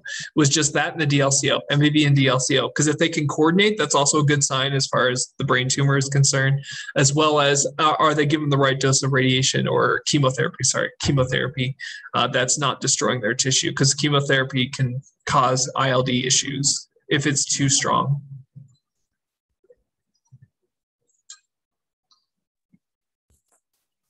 So just looking at the DLCO, like the decreased, um, the things that can make it decreased, and you had list bronchiolitis obliterans, obliterans. What I don't know. What is what is that? Block, bronchiolitis obliterans optimizing pneumonia. Boop. B O O P. I'm not making that up. Okay. Right. You can Google that right now. B O O P, like pneumonia. Bronchial. Uh, I can't even say it. But BOOP is a pneumonia. Uh, it's an obliterans pneumonia. It's an optimizing pneumonia. So that is one of those things that can be a part of the differential. That's why PFTs have to be sometimes associated with also doing a diagnostic bronchoscopy, where we go in and we actually take a sample from the lungs, whether it's histological, like an actual tissue sample, or we push a bunch of saline in, suck that saline out, and run that for things like a pneumonia pathologies and there are fungal pathologies or things like that. So PFTs are never alone. Go ahead. Okay, so it's just it's a type of pneumonia then. Boop. Yeah, it's a type of pneumonia which would be a restrictive uh, issue. So if it's not one of those five obstructive diseases, then it's restrictive. If I said you have a, a, um, a spinal cord injury, that's restrictive. Third trimester pregnancy, restrictive, right? You name it. Kyphoscoliosis, restrictive. If it's not one of those five, then it's probably restrictive. People think pneumonia is obstructive. Uh, no, pneumonia is usually not obstructive, but on COPD patients who tend to get pneumonia the most out of a lot of people, then they have a combined condition when they get a pneumonia. That's what makes it very deadly for people with COPD to get a pneumonia because not only do they have a baseline obstructive condition like we see with Jagger, but now they also have a restrictive condition on top of it. Both those combined are going to make it hard. That shunting is severe then because they already have that shunt of the COPD emphysema. Now they also have the shunt of like a pleural effusion, like what we've seen today. You add those together, or the shunt of a pneumonia, like we've seen, like that patient would have. You're going to see a hard time getting oxygen into their bloodstream. You're going to see it be very, very high oxygen requirements. And that's what makes it very deadly for COPDers to get pneumonias. Thank you. That's extra. You guys know, are above the- and beyond. The extra kind of helps sometimes. Yeah, that's okay. I just want you to know that it's extra. So yeah, well, you know not to stress yourself on those. If you want just the general concept, good. I just don't want you to. I'm trying to save gray hairs here. On the, um, I know you said it earlier. We were talking about the body box, the nitrogen washout, and the helium dilution. You said that's to find the residual volume, but I, I don't know if somebody said it on the uh, the study guide. It said TLC. We Just change that, right? Or is it both? It's both. So I can get a vital capacity from bedside spirometry, right? That's the forced vital capacity or slow vital capacity. I can get your vital capacity, but what's missing? If you look at your volume and capacity box, what's missing? Between the two? Yeah, if I do a force, if I do a vital capacity maneuver with you, what am I missing to get your total lung capacity? What am I missing? The inspiratory capacity, vital capacity, and the functional residual. So if you look at vital capacity on the box, right? What's missing? If I have you do a force vital capacity, what's one of those things that I can't measure with the vital capacity maneuver? What's left over? Is it inspiratory? No, because I have you, you, you vital capacity includes inspiratory. IRV, tidal volume, and ERV are all included in vital capacity. What's missing? Oh, resi- residual volume. residual volume. So I can't tell what your total lung capacity is without measuring residual volume. Okay, that makes sense. So in order to get your total lung capacity, I need to measure residual volume and then add that to your vital capacity. Now I have your TLC. Okay, that makes that makes sense now. Yeah. So remember, residual volume, you can't exhale it. It's in you until the day you die, unless something weird happens to your chest wall until the day you die, right? That's that negative pleural pressure that's constantly keeping that area open. You can't exhale it. So the only way to do it, body box, Boyle's Law. Uh, helium dilution, closed circuit is the fancy term they'll put there because you don't want helium being uh, there, or uh, nitrogen washout, which uses 100% oxygen to wash out the nitrogen that's in there. Till they get to so helium and nitrogen washout, pretty similar. You keep breathing this gas until it goes down to a, a known repeatable percent, and that tells you how much volume is left in the lungs. That residual volume, which then you add that to your vital capacity, now you have TLC. Cool. That makes sense now. Yeah, and it's tough because you guys haven't actually touched this stuff, and I don't have a body box to play with uh, anymore. so the answer is both of those are true. It is to get TLC and it is to get RV, but the idea is to get RV so then you can get TLC.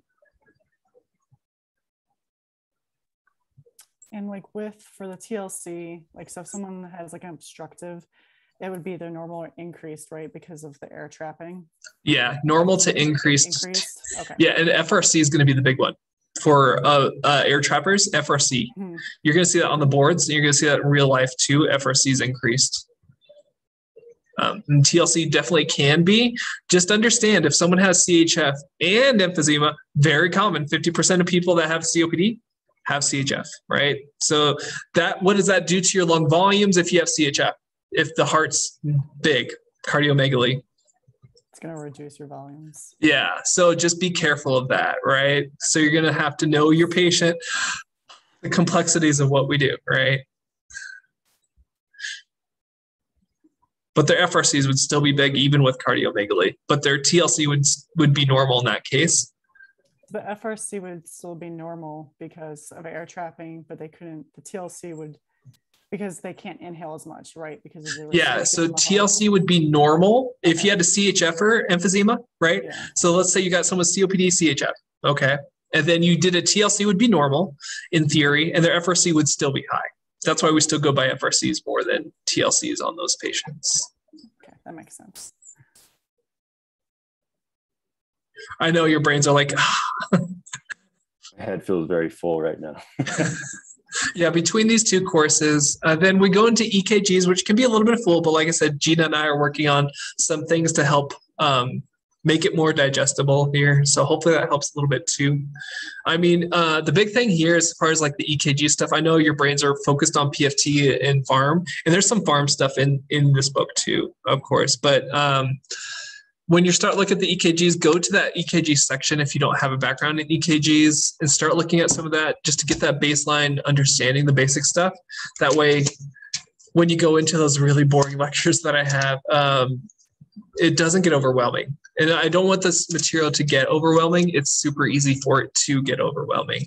But try to focus on the big picture and we can zoom in from there. Because now we're talking about FRCs and TLCs with CHF and emphysema. You know how detailed that is in the PFT world? yeah.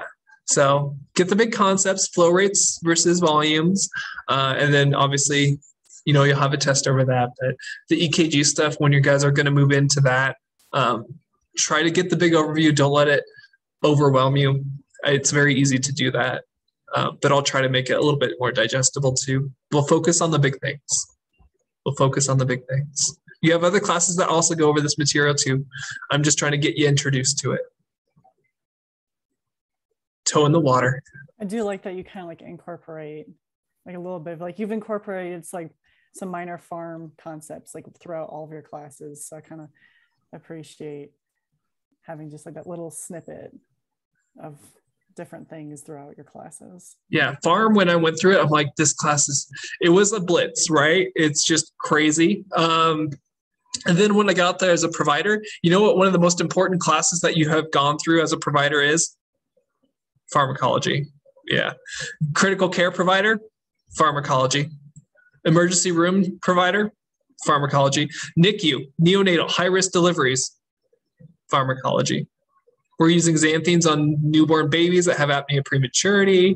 We're using bronchodilators. Some of these babies don't have mucins in their mucus yet, so we use uh, the DNA reducing mucolytic on there, the pulmozyme, right?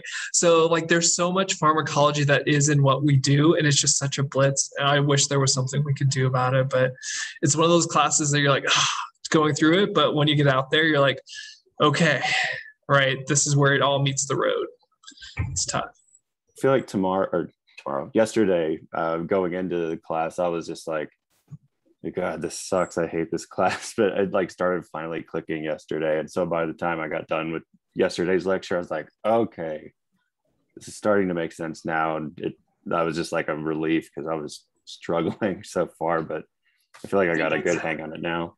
I think it's hard too because we don't have a calendar. We don't know when stuff is due till like You got a heavy workload too. I'm like, so- yeah, like I I asked him, I was like, can you please post the due dates? Because I'm like losing my mind. Like we don't have a calendar, so I can't plan. my my fiance is like, you have another class besides pharm because I'm always like pharm, pharm, pharm, pharm. I'm like, oh, I got a PFT test too. But when I have the class with you, I can I understand it, I digest it. But pharm, I'm just like, oh, there's so much. It's so much in just a short period of time. It is. And I'll be as gentle with you guys as I can, but it is it is a blitz no matter who's teaching it. I'm glad I taught this one. Can you just tell him to make a calendar for us? Uh, it's tough. Um, I think things were thrown off too when we had to go online a little bit there too. So I think that threw off a little bit of his activities. It throws off my activities coming with you guys too because I'm creating things for online activities. Because in class we wouldn't be doing this; we'd be practicing. Today would be all about practicing PFTs and doing checkoffs and stuff. And so I had to create the activities for today. So uh, it's just tough because it does throw uh, you off as a teacher and stuff like that. So it's tough to sort of stay on that. It's tough to make a calendar when Okay, thank you you're, you're creating content. But um, as far as um, I think you guys will be fine. And then as far as pharm goes, if you made a, fl- a mental flow chart, I wish I could make a. I have a mental flow chart in my brain on uh, which category of drugs to use when type thing. Like when do I use the mucolytics? When do I use the bronchodilators? When do I use the long-acting bronchodilators? When do I use the cor- cor- when do I use the xanthines? Right, things like that. So do a mental flow chart thing if, if that might help you understand the big picture of it too. Is that what like he? Um, geez, I can't even talk. Is that what the mind mapping thing was that he was talking about the other day in class? It's very similar to mind mapping. Yeah. I need to. I need to come up with something like that. Yeah. So I'd put uh and so you just like that PFT flow chart where it's like their their flow rates are low, go to this arm. If their flow rates are normal, go to this arm, right? So similar thing that I did my mentally, my I should draw it out one day, but I did that have that for pharm. Like if someone had uh, post-op surgery, they had abdominal surgery, are they going to be breathing deep? Are their cilia paralyzed? No, their cilia are paralyzed and they're not going to be breathing deep. So I need to do volume expansion therapy. Hey, does a bronchodilator help with volume expansion of their lungs and wake up cilia? Yeah, so the bronchodilator's in that arm for my brain, right? Right. And so that's something that I did that helps me understand the general concept. Inhale corticosteroids, they're not for rescue. Systemic steroids are for rescue. You show up to an ER, they're not going to give you uh, a Flovent inhaler, right? They're going to give you systemic steroids, right? IV, uh, PO steroids. Uh, that's going to help you in that moment, but they're for controlling and symptoms type thing. So, and we'll talk more pharm too in disease class. So don't worry, right? You'll get reinforcement through the rest of the program of other things too. In therapeutics, are you going to talk about pharm and therapeutics? Yes. Mechanical ventilation? Yes. Critical care techniques class with me? Yes, you'll talk about pharm. Advanced pharmacology? You'll talk about pharm. Yeah. So you're going to get more of it.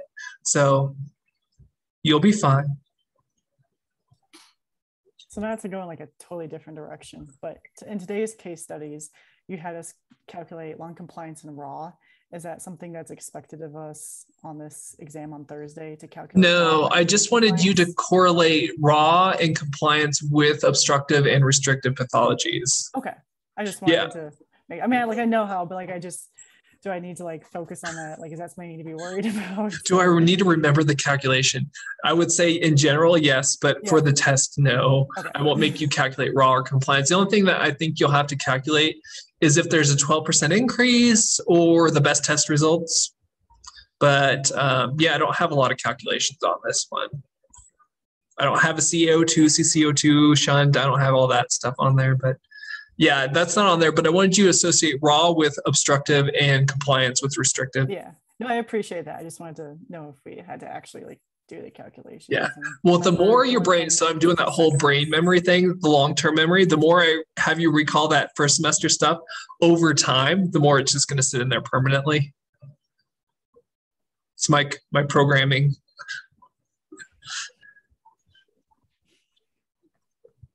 Then when you're on stage at Vegas for nationals, you'll actually remember that it's a three liter super syringe at three different flow rates.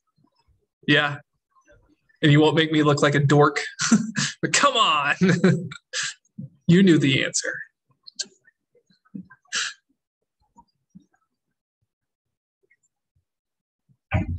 All right. thank you. I think I'm good good. day. All Um, do y'all know if we have we don't have an MRE or a test tomorrow in pharm, do we? We have the calculations one, but it's not due till Sunday. Oh, I that's think right. that, did you guys do the MRE for yesterday? That one's due tonight, right? Yeah. I did it yesterday. It's not bad. Yeah. And the work workbooks are shorter than the previous chapters, so that's good. Dude, when he was like, "Oh, you guys don't have to turn them in," I was like, "No, we're gonna turn them in because I spent my whole weekend doing all those workbooks. Did you? Give me something."